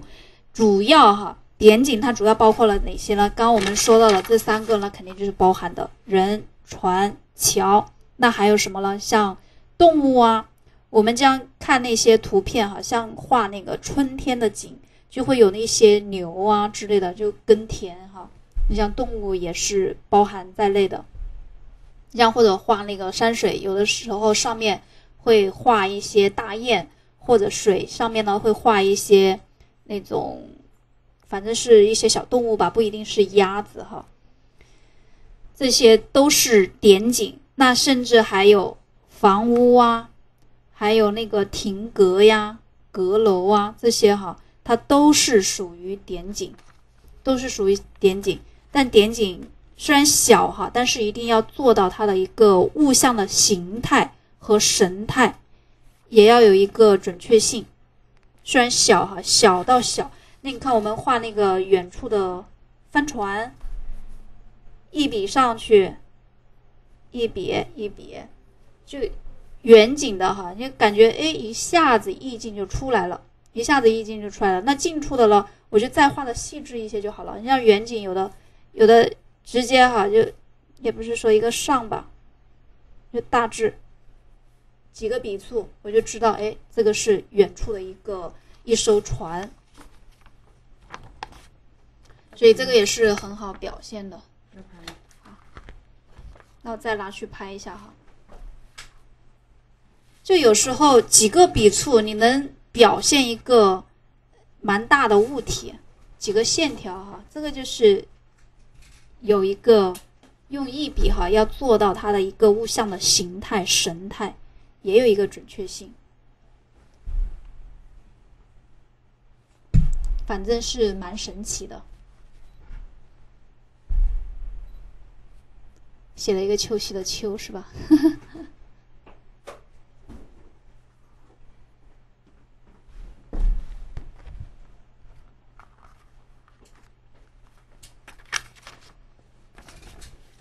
好然后我们再往后哈，勾这一座桥。勾桥的话呢，你可以先用，先用那个偏浅一点点的墨，然后你在后面再用那个积墨法，积那个偏重一点的墨。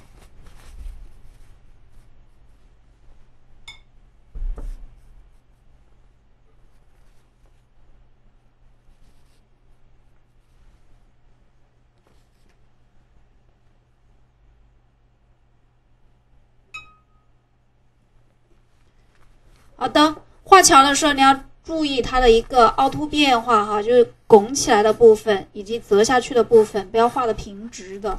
所以画的时候你要看准了之后再去下笔，不要盲目的去画。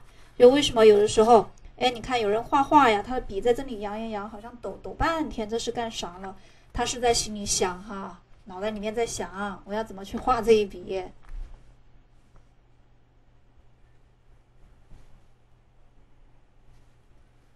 好的，直接过来。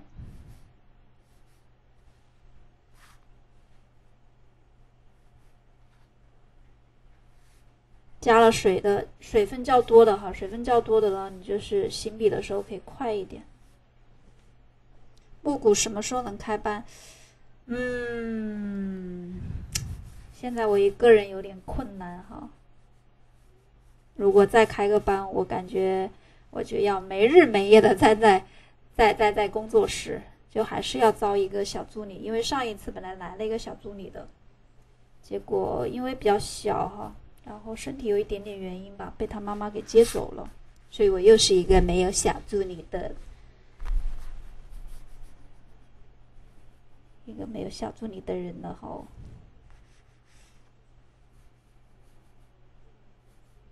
再过来一点儿。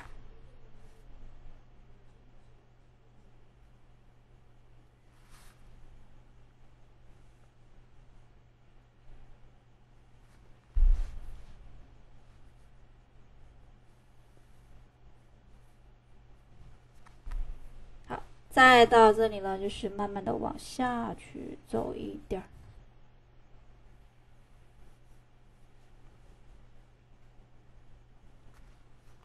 好呀，好呀，来给我当小助理呀！天天给我看看作业什么的，然后就可以免费学习蘑菇的话，安逸吧？哎呦，天呀！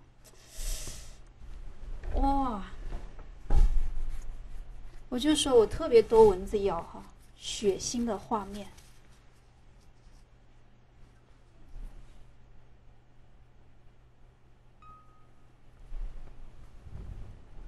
木谷之前本来预计是要单独开班的，因为因为我们现在虽然写意课里面哈有两节，但是呢。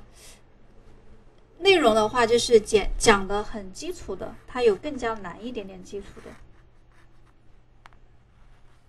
但是你大致画花花草草是没有太大的影响的哈。你像画动物的话，你可能还是会稍微的有一点点困难。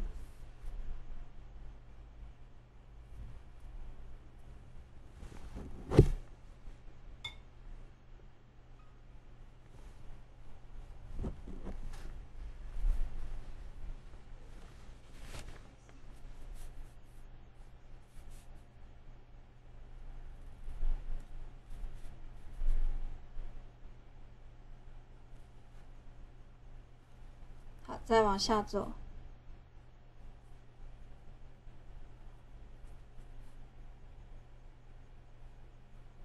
这个线条它是几笔带过的，不是一条光溜的线条下来的哈，有停顿。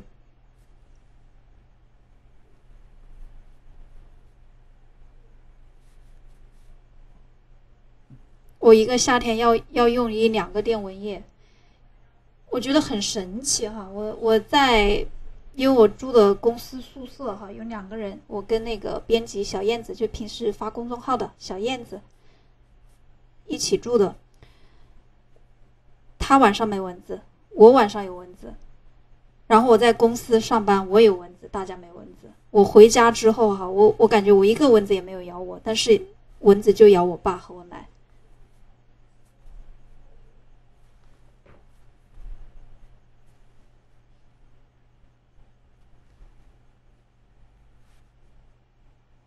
我是 A 型血，我都感觉 A 型血不都不遭蚊子咬的。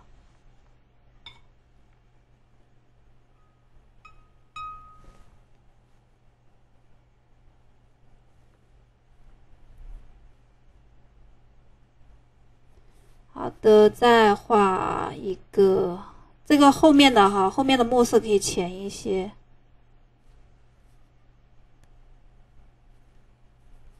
刚刚有同学说这个。桥哈是歪的啊，就是感觉像那个放射状嘛，但是它大致哈是一个平缓的，它是拱起来的。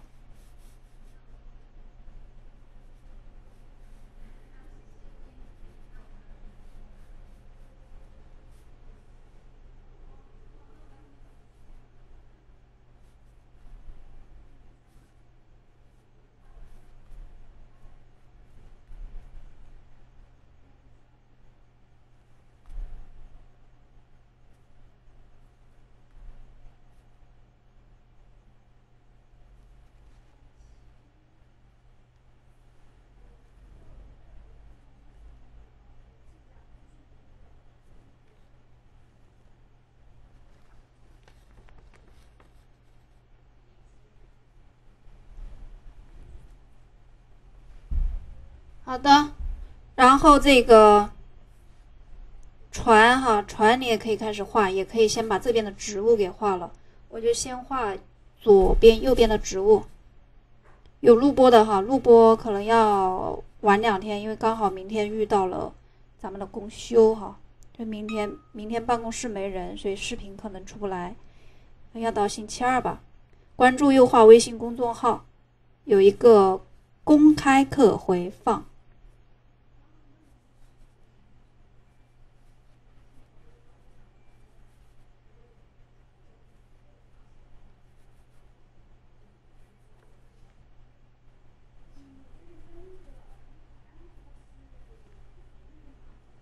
同样的，前面的这个小的水草哈，墨色呢稍微的重一点。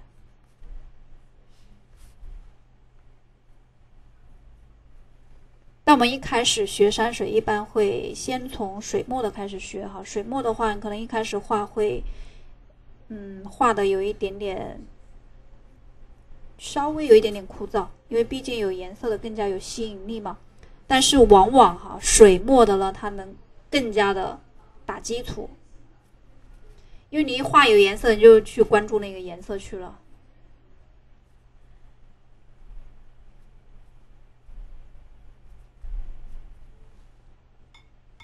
好，墨色再调浅一点。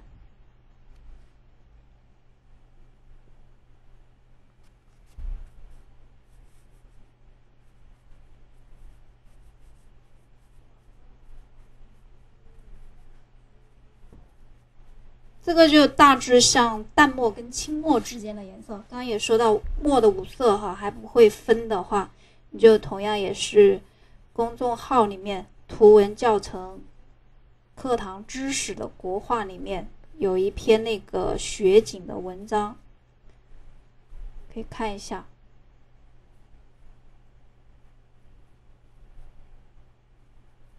你像今天上的这个课哈，到时候也会被翻译出来。图文教程，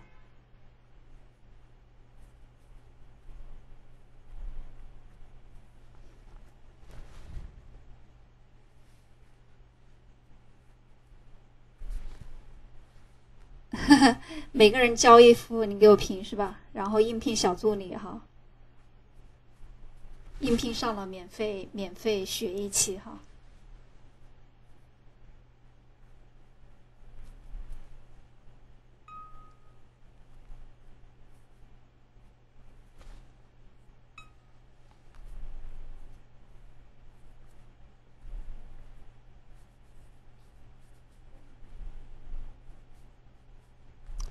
哇，蚊子越来越多了。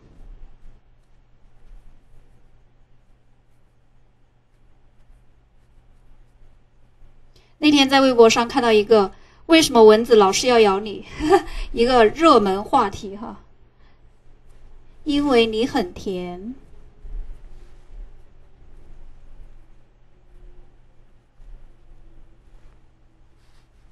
啊，大致画面中的这些植物呢，算是画完了。然后我们就是要画这个船。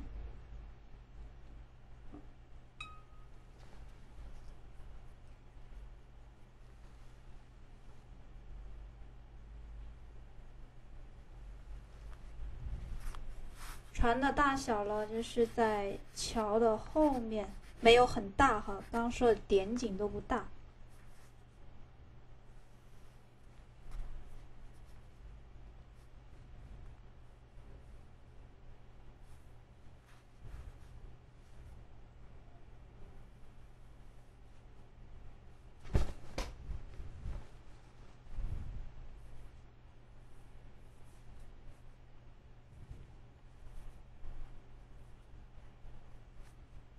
那还有一个木桩子。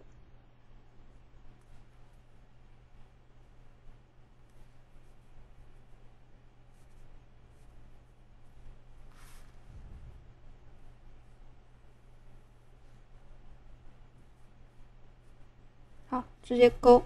所以这个也就是国画里面哈，就是要手稳的时候呢，你手要稳；该抖的时候呢，你可以去抖几下。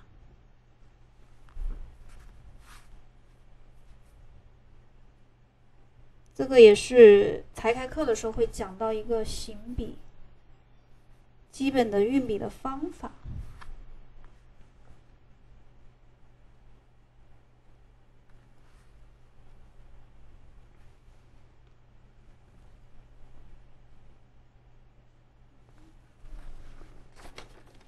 还有一个人呢，他是蹲着的哈，蹲在这里，画小一点点。大致的交代一下。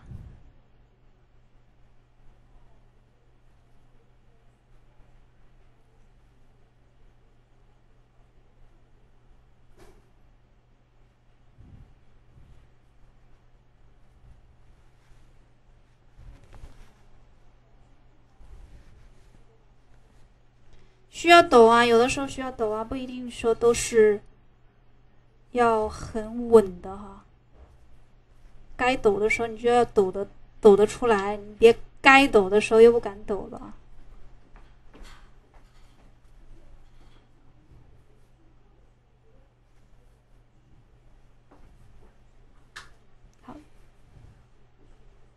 画这些小人可有意思了。我们那个刚好哈，最近才学的点景，就是画了这些小人儿。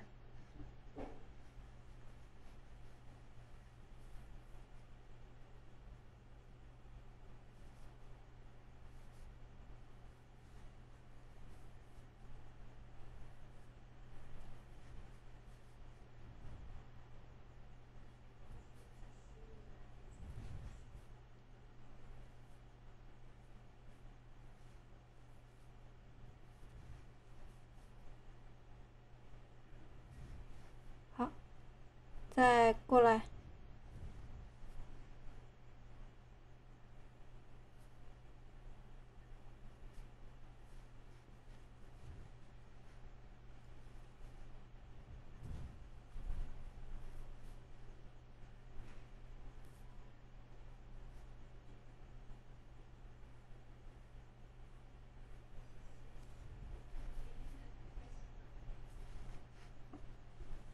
再来一点点交错哈，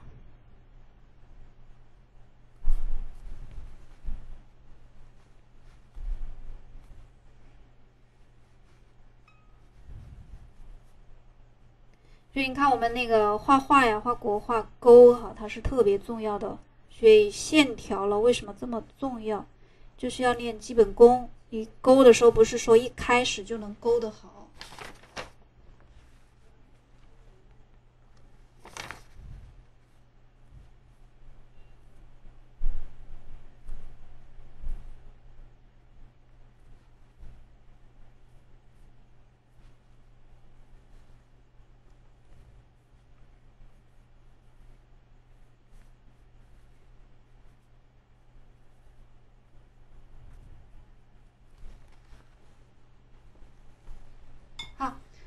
刚刚这个船后面哈，我们还说了有植物，那我们再把它给补上，更浅的哈，更浅的植物。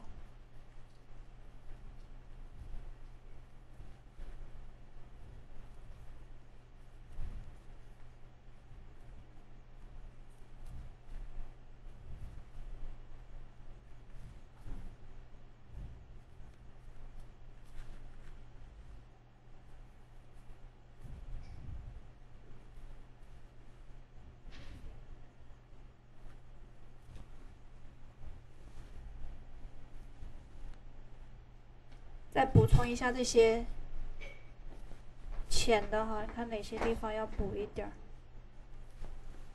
好，大致的我们可以再去拍一拍一下哈，拍一下的时候呢，我就讲一下这个叶片的行笔。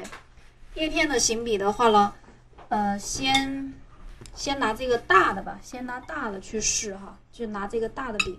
你像我们画竹叶子一样的起笔哈，起笔的时候。轻一些，然后慢慢的往下压，再收笔。你看这个就像刚刚画的这个叶子放大版哈，放大版。所以你可以分三个步骤：第一节、第二节、第三节，一、二、三。那么第一个哈，起笔的时候，笔呢稍微提起来一些，提起来一些。第二个的时候压下去一点点，第三个提起来。所以我们画的时候哈，你看连贯性的动作，连贯性的动作那就是起笔，提起来的笔触，行笔的时候压下去，第三步收起来。所以这个叶片它就会两头稍微尖一些，中间胖一些。如果你想让中间哈再胖一点点，如果你想让中间再胖一点点，那我就是我稍微哈，因为刚刚我们都是用的中锋去画的，对不对？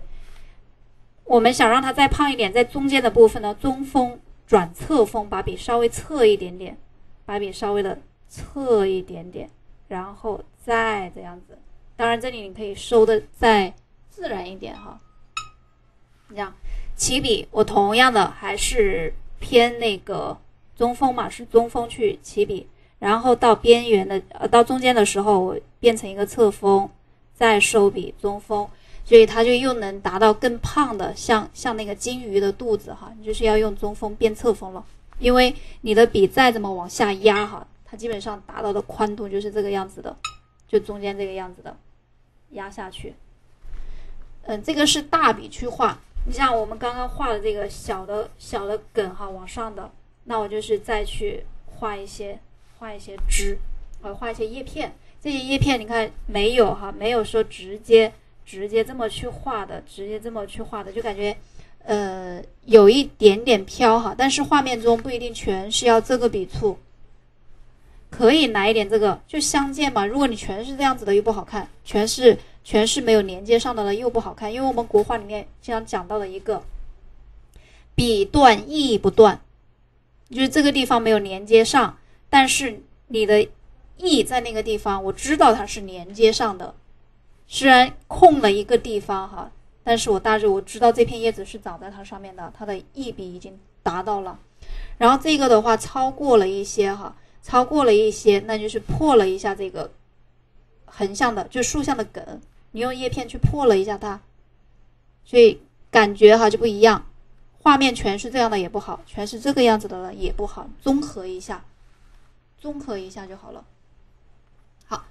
那么行笔的话，哈，行笔的话就是同样是一个力度的控制，力度的控制。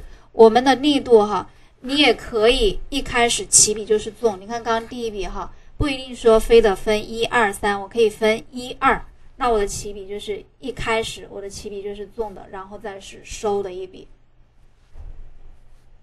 这个地方是长的那个梗了。起笔纵的话呢，那你就是稍微顿一下。笔触稍微偏一点点侧锋，我就不用很尖的去去行笔哈。一开始我还可以甚至运用到一个长锋，因为国画的知识点确实多，所以我一节课就讲那么几个哈，大致就 OK。所以为什么分二十八节课一个系统课，二十八节课能学出来哈，能学出来这个效果的话就好。长锋的话，我就是或者逆锋也可以。像我们起笔哈，如果你要从左往右，呃，从左往右去画逆锋的话，那你就是我既然是从左往右的哈，我要逆着行一笔，那我就是从右往左去画一笔，然后再上去。你看它这个地方就是方方的呀，这个也就是可以藏一笔哈，藏进去一笔。我们经常写字嘛，写一字，藏横着哈。你看我是写一一，是不是这个样子的？那就是从左往右。但是我要用到一个藏锋，藏锋的话呢，我就是要把这些笔触，把这些锋呢要藏起来，藏起来，然后再过去，再过去，回锋哈，就收笔的时候了又回来，它又又回去了，所以这个地方起笔它是看不到的。我们刚前面画的哈，它的起笔都是能看得到的，你看起笔，它都是看得到的起笔。然后我想让它看不到，那你就把它藏起来，再压下去。它就看不到了。嗯，这个的话就是起笔哈，有分一二三两头尖，中间重；有分一二起笔重，收笔轻。两个方法，这个叶片都可以。你只要知道这个运笔之后，我再拿小一点点的笔去画，那也很简单。看，就是稍微的顿一下也可以，再出去，或者是起笔的时候轻。再重再轻。那你画的时候，你就可以再快一点了。笔的力度控制好了，你就可以快一点点了。就是这个提按提按哈，提起来细，压下去重，提起来又细，提按提按连贯一点，就变成了一片小叶子。好的，这一点明白没？明白就敲个一，我们就继续哈。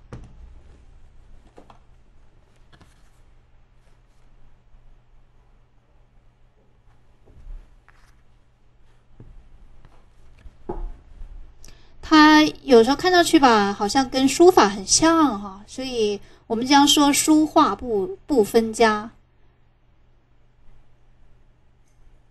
就一般那个书法写得好的来学国画的话，就也也能很好的入门，就是能很好的，就是去画那个画面容易接受哈。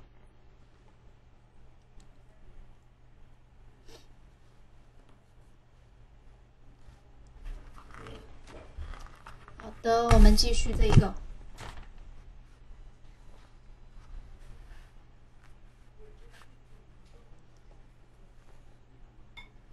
同样，我们现在用染色哈，染色的话主要是这三个颜色：赭石、藤黄和花青。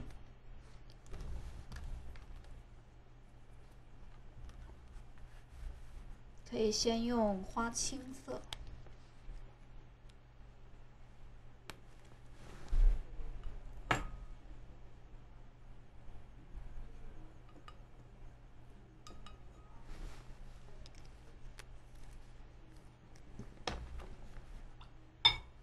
同样，花青色，如果你嫌它太轻了的话呢，我们也可以加一点点藤黄进去。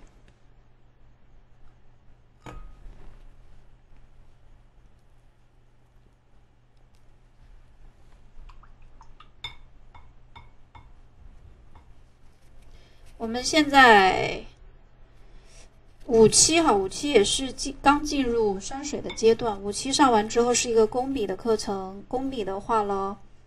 人数不多哈，招的话是只招三十个人，但是现在已经满员了，所以呢，还有一个工笔是要有一些基础的。然后还想学写意的话呢，就是六期的写意的课程了。六期的写意课程虽然在十月份哈，但是现在群里面呢也有很多同学在画画了之后给我在看，所以。因为现在报名的话呢，是可以看五期的录播视频，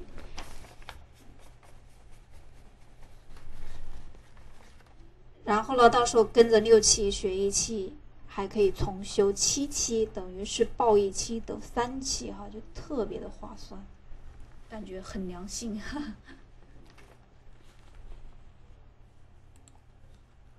有时候六期的同学找我，我都以为是五期的哈，就是。那个画嘛，因为跟武器画的一样的，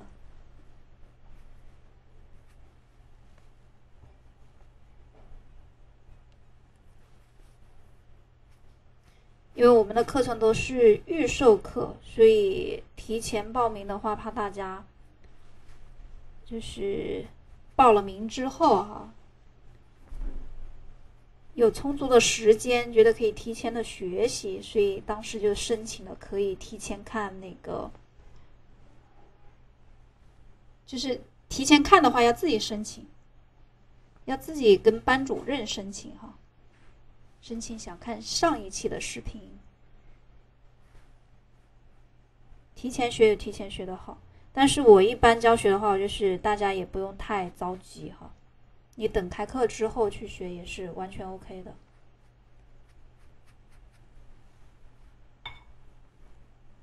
我一般我一般的那个做法就是，大家不要急呀，就开课的时候，因为开课的时候好好画就可以了。现在离上课还有一段时间，大家好好享受假期呀。因为为什么我们的画面哈进步那么大？当然，就是肯定也是很辛苦的，就是报了名之后学习哈，就像集训几个月一样的。因为我们的课程虽然上课的课时的话算下来可能三个多月吧，但是我们的作业指导的时间呢有半年，所以你半年都在画的话，那你就像在集训半年，所以进步也会很大哈。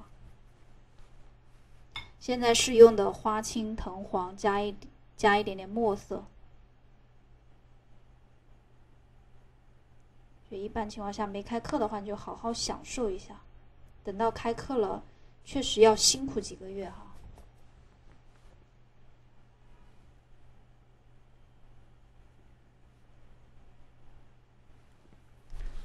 你的纸已经用了三分之一了，开课之后估计就没了。开课之后买新的。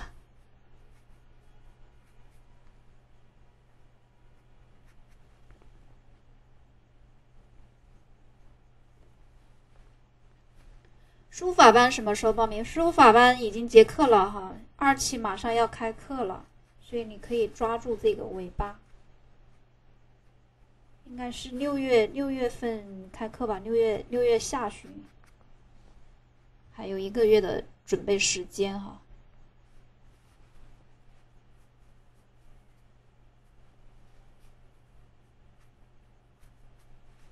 好，你这样画到后面，我前面画的比较实，我可以直直接去染色，对吧？后面我要虚过去，它是面面慢慢的变没有的，所以呢，前面的。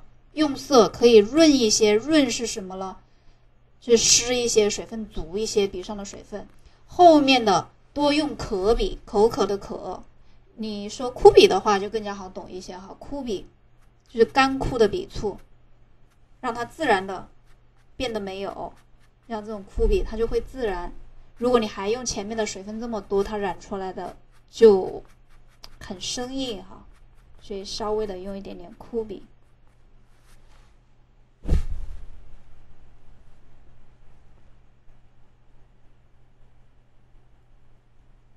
花青，花青加藤黄，加一点点藤黄，要不然它会很绿哈。这个地方我可以再染一点点绿色的。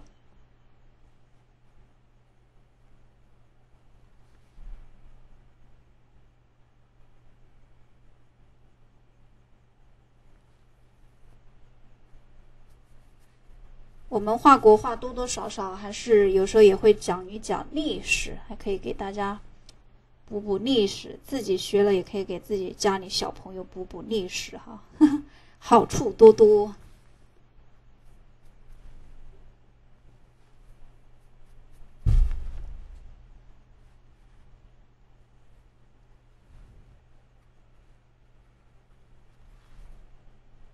染色的时候，下面不要染染的很很匀哈，一定要破一下，稍微一点点破的都都 OK 的，都可以的。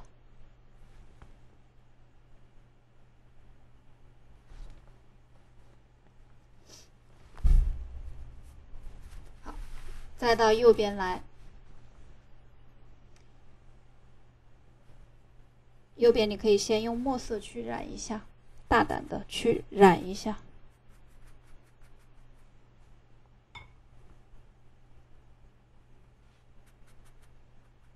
抽奖，今天没有安排抽奖。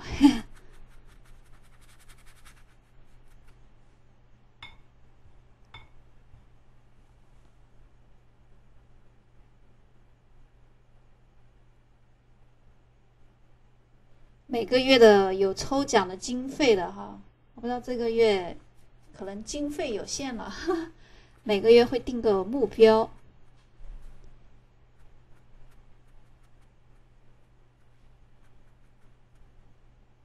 这个可能到时候送给咱们五期和四期重修群的某一位了吧，因为我想着最后一节课可能会来一个抽奖吧，大家辛苦了小半年了。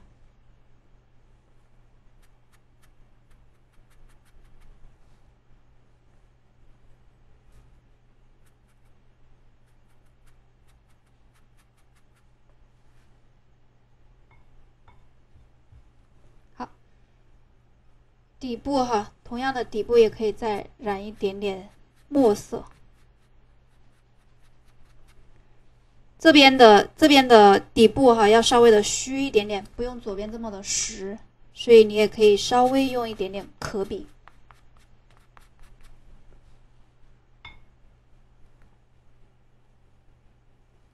哈 哈有希望是吧？对都有希望。在希望的田野上。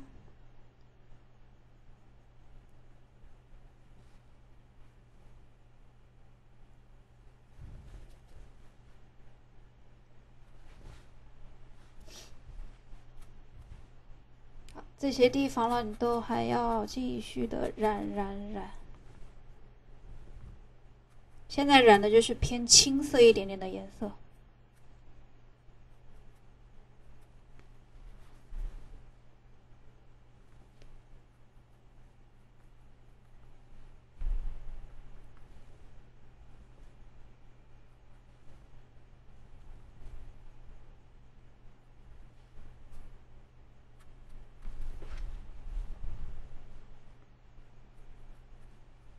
然后右边哈，感觉还少了点啥呢？就是还没有那个点点，所以看上去也是没有特别的少了一点层次哈，有没有这个感觉？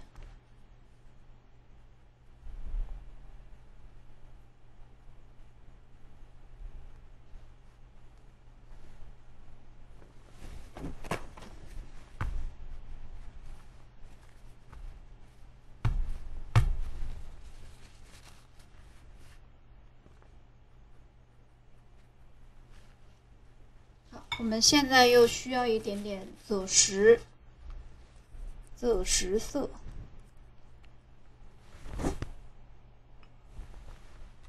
像水的话，前面的水就直接是留白的方法哈，就啥也没画。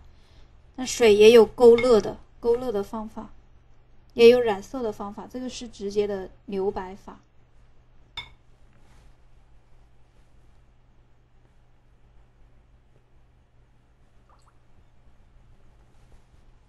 调一丁点儿赭石，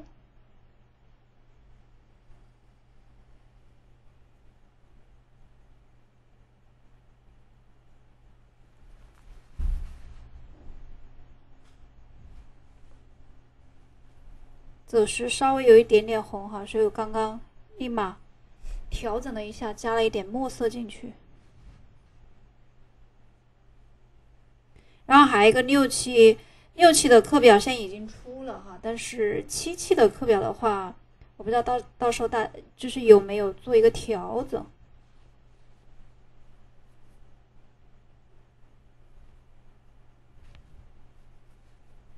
所以六期的话还是比较完整的、系统的学习的，包含的内容很多很足，大家学了的应该也知道哈，内容也很广泛。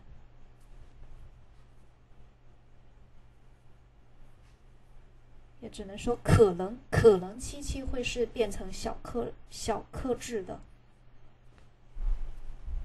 所以现在六七就是学到就是赚到哈。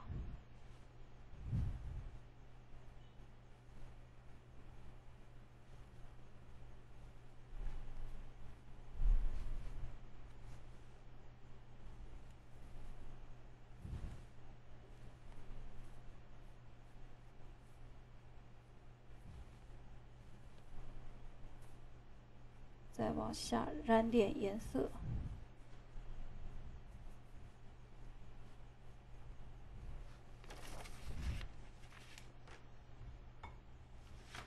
七七还在研究讨论啊，就是有可能不会变动，但是也有可能会变动，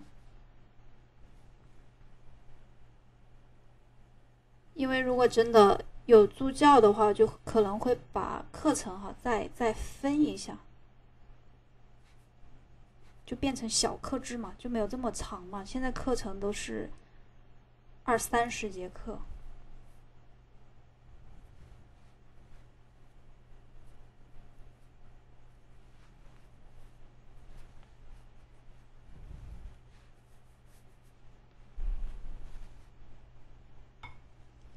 这个边边的部分呢，也再稍微的染一下。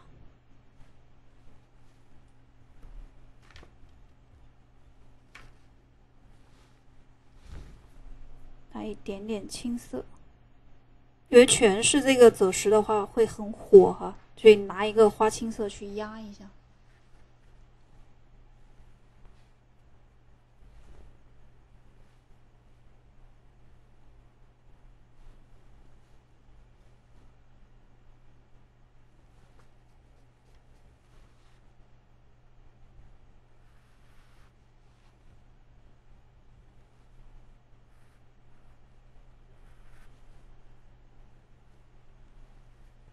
后面有一个远山，颜色浅浅的哈。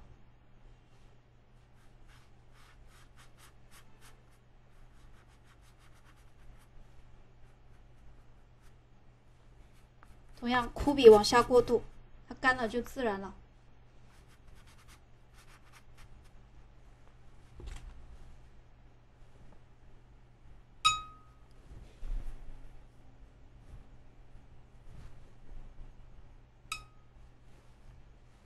小课制就是课程肯定短一些呀，可能十几节课呀，一二十节课呀。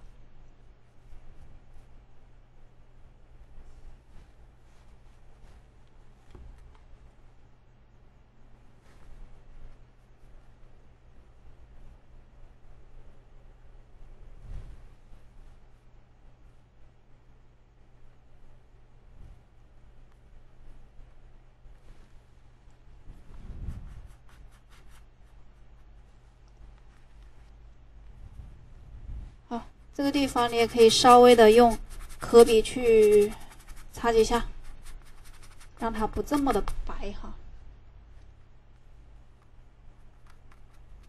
但是我们现在还要等它干，等干，等干，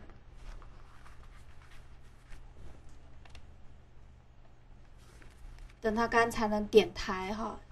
没干的话，你去点那个点台的话，它就会晕开。山羊，山羊，可以帮我拍个步骤吗？然后这个画面哈，它现在是还没有干透，所以看上去有的地方它颜色特别的深。等它干透之后了，整体的颜色会好很多。对，拍一个步骤吧，我再待会儿等干了再点。刚有同学说想看五期的，我本来也没有打算给大家看哈。既然有人提出，那我就给大家看吧。哎，那个调就是能看到 QQ 界面的是要怎么来着？要重新弄是吧？不用，你试一下看看能不能看得到。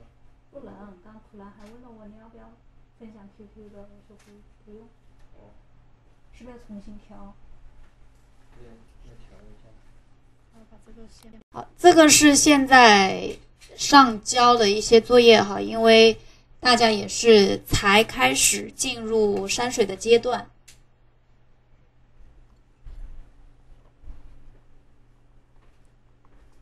就有的还在画一些分解。这个是我们上一次画的那个斧劈村。嗯。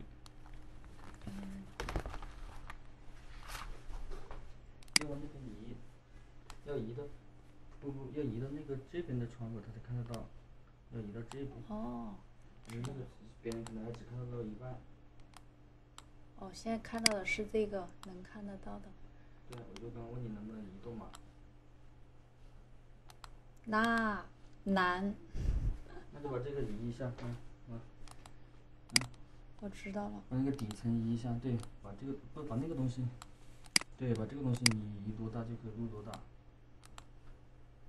这样吧，那你就尽量移到红框框这么大嘛，然后把这个录屏的移到那边去嘛。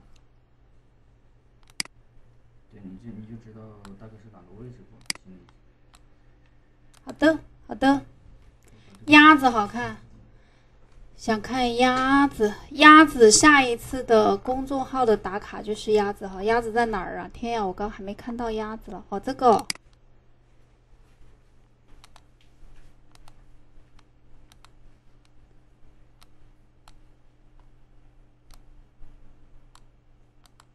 天呀，这个 Win 十的真的都是放大版，看不全。嗯，大致的这个是修改之前的，就第一次画，然后这个是第二次画，效果就好了很多哈。所以，所以一般情况下都是重画重画。这个鸭子的话是第二阶段的，第二阶段是以动物多以动物和木骨为主，然后第一阶段的话呢是以基础和植物为主，现在我们是进入到了第三阶段哈，是以水墨山水为主。第四阶段呢是有色的，就是色色的山水为主，所以分为四大类。然后像这个画的话，就是也是第二阶段的墨谷，但是是这节课的要求呢是要自己创作，因为我上课也是也是有很多张素材哈，拼贴就是凑成一幅画。这个也是，这个是我们星期五上课的一个内容。虎皮村，可能只能看到一部分吧，只能看到一部分。那这有点景哈，有小人儿在这里看那个瀑布，嗯，这这么高的瀑布，呵 呵就画面很有意思。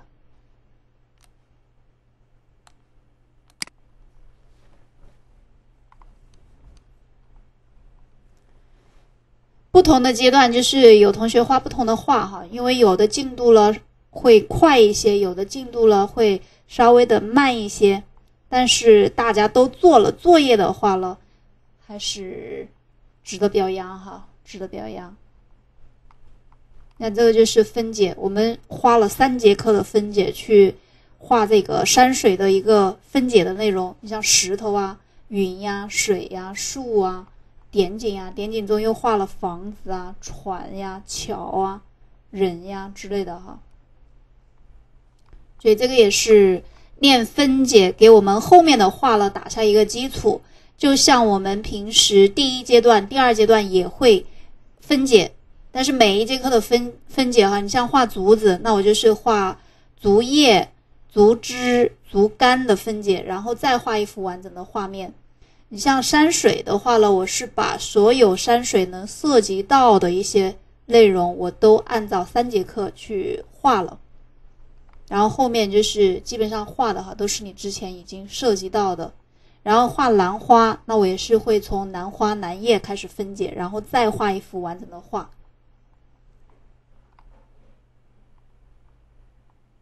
因为山水的话，如果你一节课你又要分解又要画一幅完整的画，就画不完哈。山水会慢一些，所以就把分解放到了一二三节课前面三节课，后面就都是完整的画面了。然后这个就是我画完了的话，会上传一个作品图，这个也是一个作品图，只能看到一点点哈，放不小。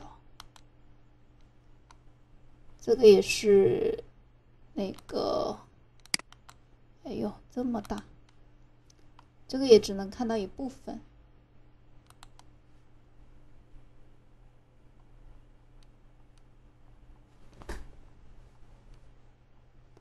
灰鸽子刚刚也到了课堂啊，小学生进步很大的也是。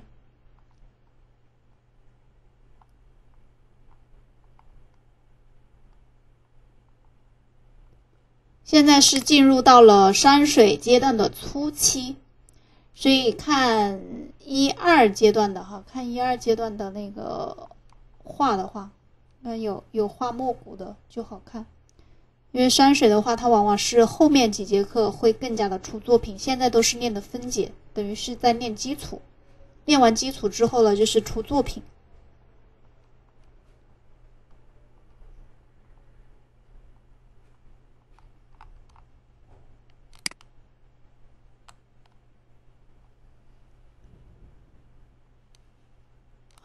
你像那个画面中哈，有的画了之后还会题字，把这个画放大一点点，看在上面哈。我们班有很多同学字很好的，就是画和字哈都写了之后，就是画的画了，写的写了，它整个画面中呢就会更加的有味道。鱼也画的好，鱼呀，螃蟹啊，不是螃蟹，就是那个鸭子啊。还有麻雀呀，这个都是中级班的哈，呃，不是中级班，第二阶段的。你看这些内容都是第二阶段的，第三阶段就是完全是另外一个画种了。所以，所以就是说六期的课程它有个好处哈，就是你报了之后，你可以学三期，学学五期的，学六期的，学七期的，所以所以是比较划算的。因为到时候七期可能会改革的话，就是可能。会只有，嗯，花鸟啊，或者只有山水呀，就没有那么的全面。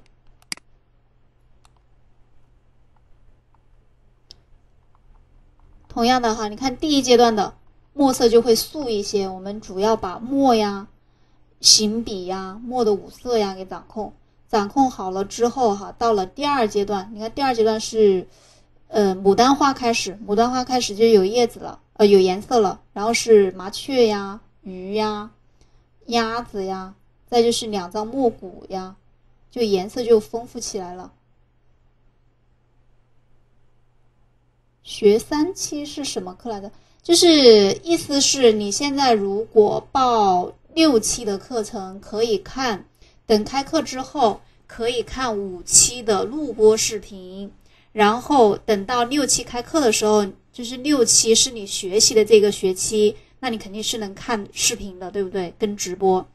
到了七期之后，如果再上课，你可以免费再跟直播再学一期。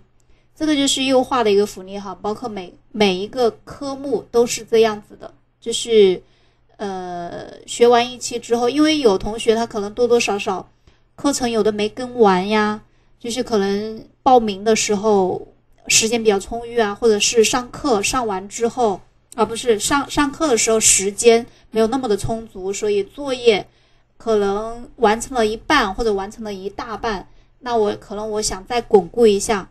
所以这个就是给大家申请了一个免费重修的福利，你就可以再跟七七再跟一期再画。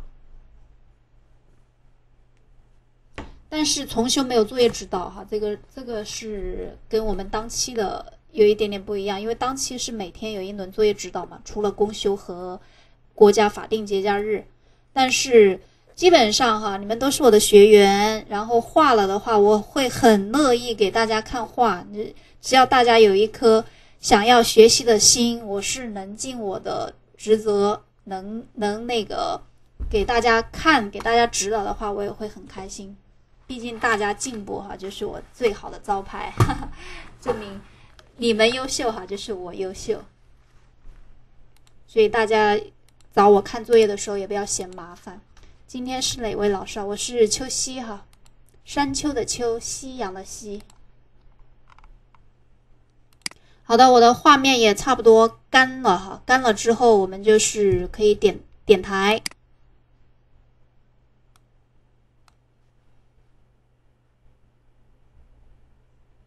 一期能看三期吗？那个时候的福利还没有出来哈，好像是从第几期开始？从协议的第四期还是第五期开始的？你像二期，当时的二期也是不能看的。所以福利是慢慢出来的。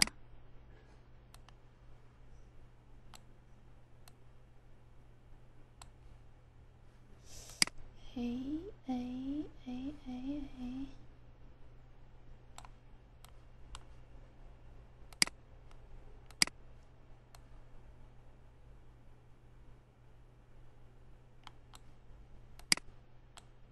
好的，调整到我们的画面中来。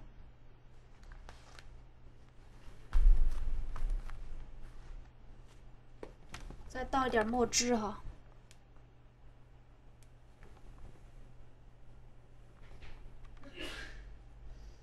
嗯，这个也是也是后面哈，也是为了越来越好，后面申请的这个福利。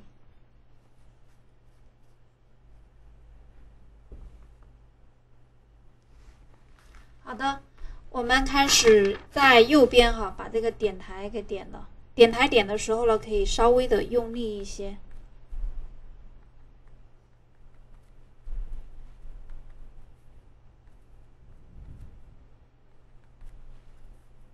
所以我感觉吧是非常的划算的。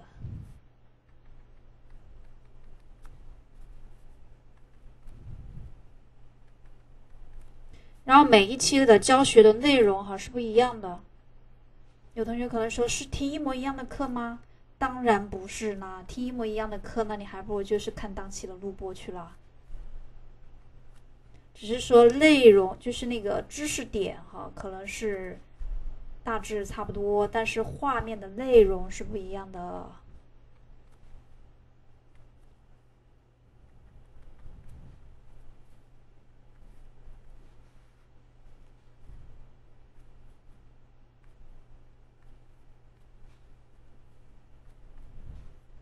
如果你重修还听一模一样的课，就没有毫无意义哈。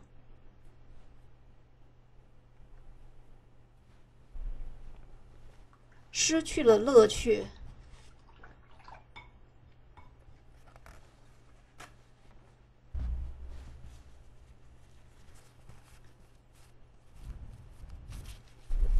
这个画画了多久？这个画好像是从，是不是从八点钟开始画的？边画边聊，反正停停歇歇。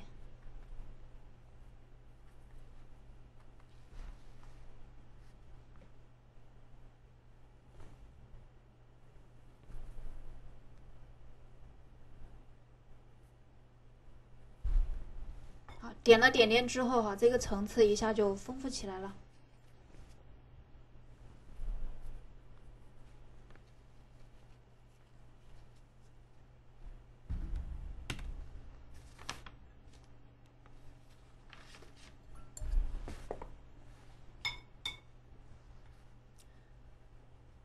好的，为了我们的画面哈更加的完整一些呢，你可以写字。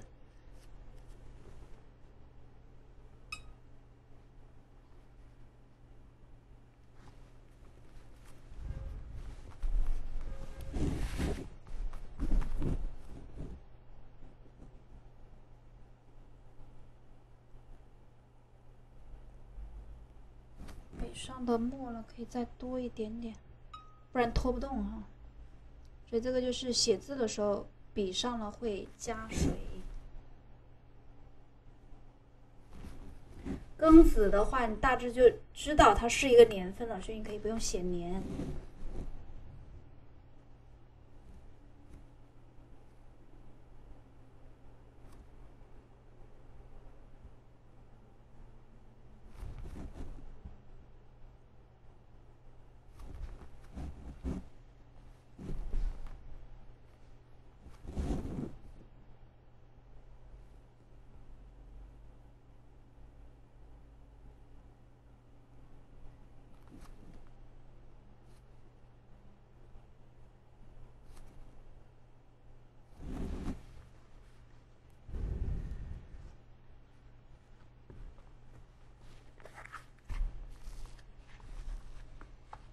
写了一个林大千哈，就是张大千。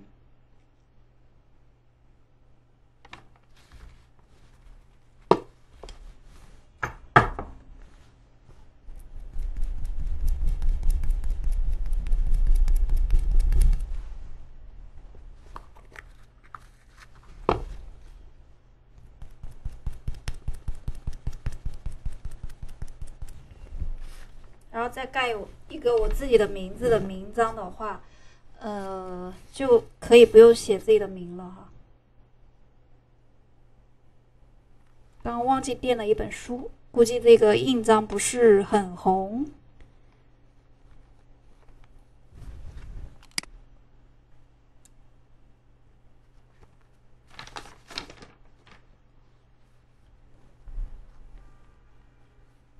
好像这个。右下角哈，你也可以盖一个盖一个闲章，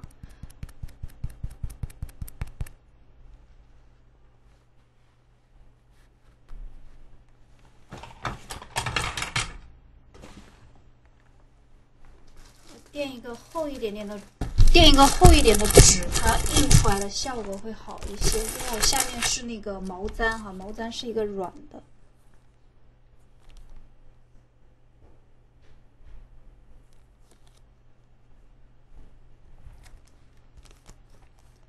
画面有字有印，感觉有趣多了。有没有？有的话敲个一。因为国画里面哈，你你不你不落款不盖印，整个画面是不完整的，就是你没有画完，就是没没弄完。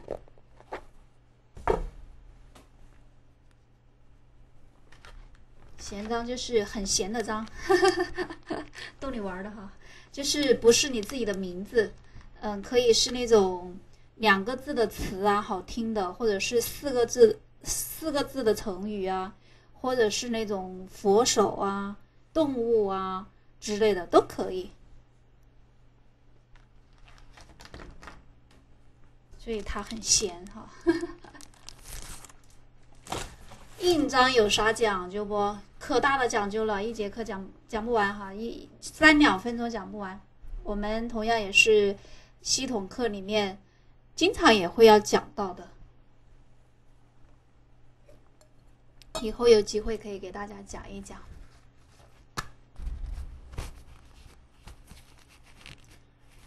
嗯。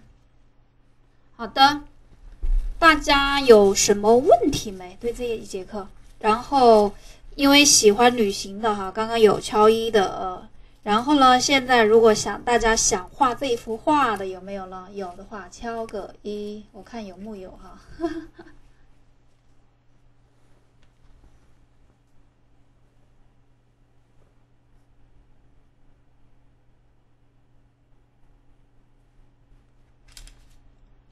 反正有的话，因为因为这一次就是没有说有一个收集大家的作业呀，集中点评呀，嗯，然后如果不能集中点评的话，你也可以哈，就是发给客服宝宝。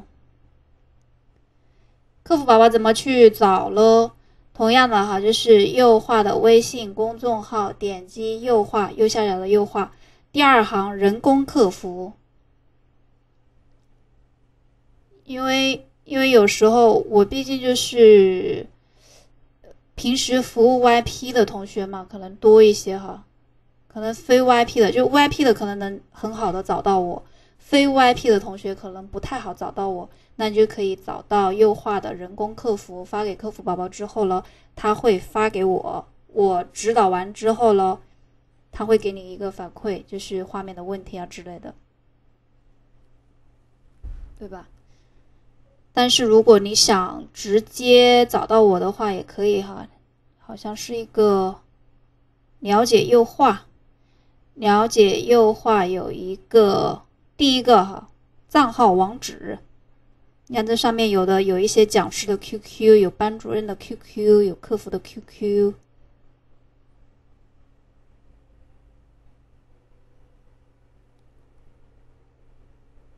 好的呀。反正像那个就是 YP 非 YP 都可以哈，都可以画。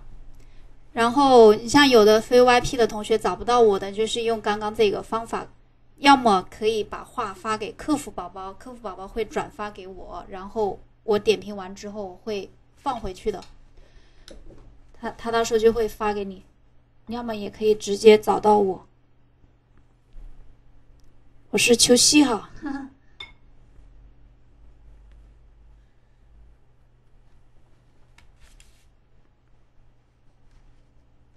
好的哟，好的哟。但是你们私聊我的话，明天我可能就是没有登 QQ 哈，就有的时候可能大家找到我的话，不会立马的回复，所以这个也是大家要见谅一下哈，因为平时也是服务 YP 嘛，可能没有太多的精力。就是能秒回消息啊之类的，因为平时看作业可能进了群之后，我会把那个班级的作业都看完，看完之后我会再退出来，退出来，然后有私聊的消息我就回了，就可能做不到秒回，所以有时候我可能甚至有时候我没有晚班，我可能不会登 QQ，因为那天就是露西老师哈，有有位同学加了他好，然后就通过了吧，通过之后呢。那个学员也是晚上发给露西老师好的话，然后没有回复，因为那天晚上他刚好就是没有晚班嘛，六点下班，我们现在六点下班，有时候下班之后就没有登 QQ 就没回复，然后那位同学就立马把露西老师给删了哈，因为因为觉得没有回复他，第二天就是因为第二天一来回复他消息回复不了嘛，因为因为不是好友，像有的。可能平时每天 QQ 聊的多，不是好友的要先加好友之后才能聊，所以我就是怕到时候造成这个误会，就哎呀老师都不理我呀之类的，因为我平时可能服务那个 YP 的时候看那个作业，有时候进到群里没有出来，所以有私聊的消息可能就是没有特别及时的回复。但是我看到了之后，我肯定是会回复的哈。好的，好的，先下线了。好的，拜拜，拜拜。因为因为可能就人不一样吧，这只是一个案例哈，少数了。可能有时候觉得我们是晚上上班嘛，就晚上有时候有晚班，但有时候有晚班又在上课，上课也回不了消息，对吧？上课的时候也不能回消息，所以。做不到秒回，但是看到之后肯定会回复，不会不会说我看到消息我不回复你啊之类的。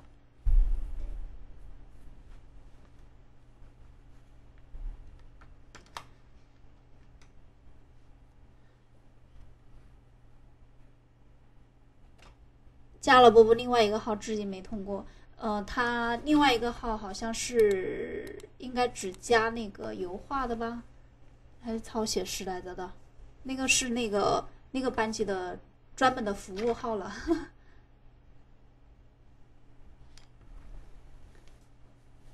好的，好的，没有问题的话，我们就准备下课了哟。到时候这一个，嗯，作品图可以在优化的公众号回复“国画作品图”，然后可能一个星期左右吧，会有一篇这个图文教程。就是考虑到视频太久了嘛，所以会转化成一个。图文教程是我们小谭老师转化的哈。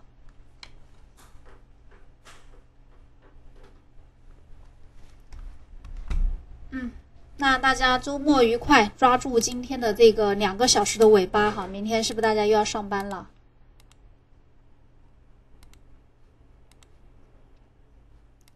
好的，我们就准备下课了，刷个鲜花吧。呵呵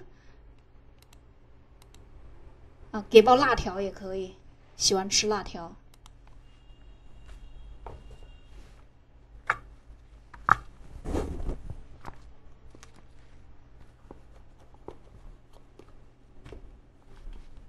好的，拜拜，拜拜。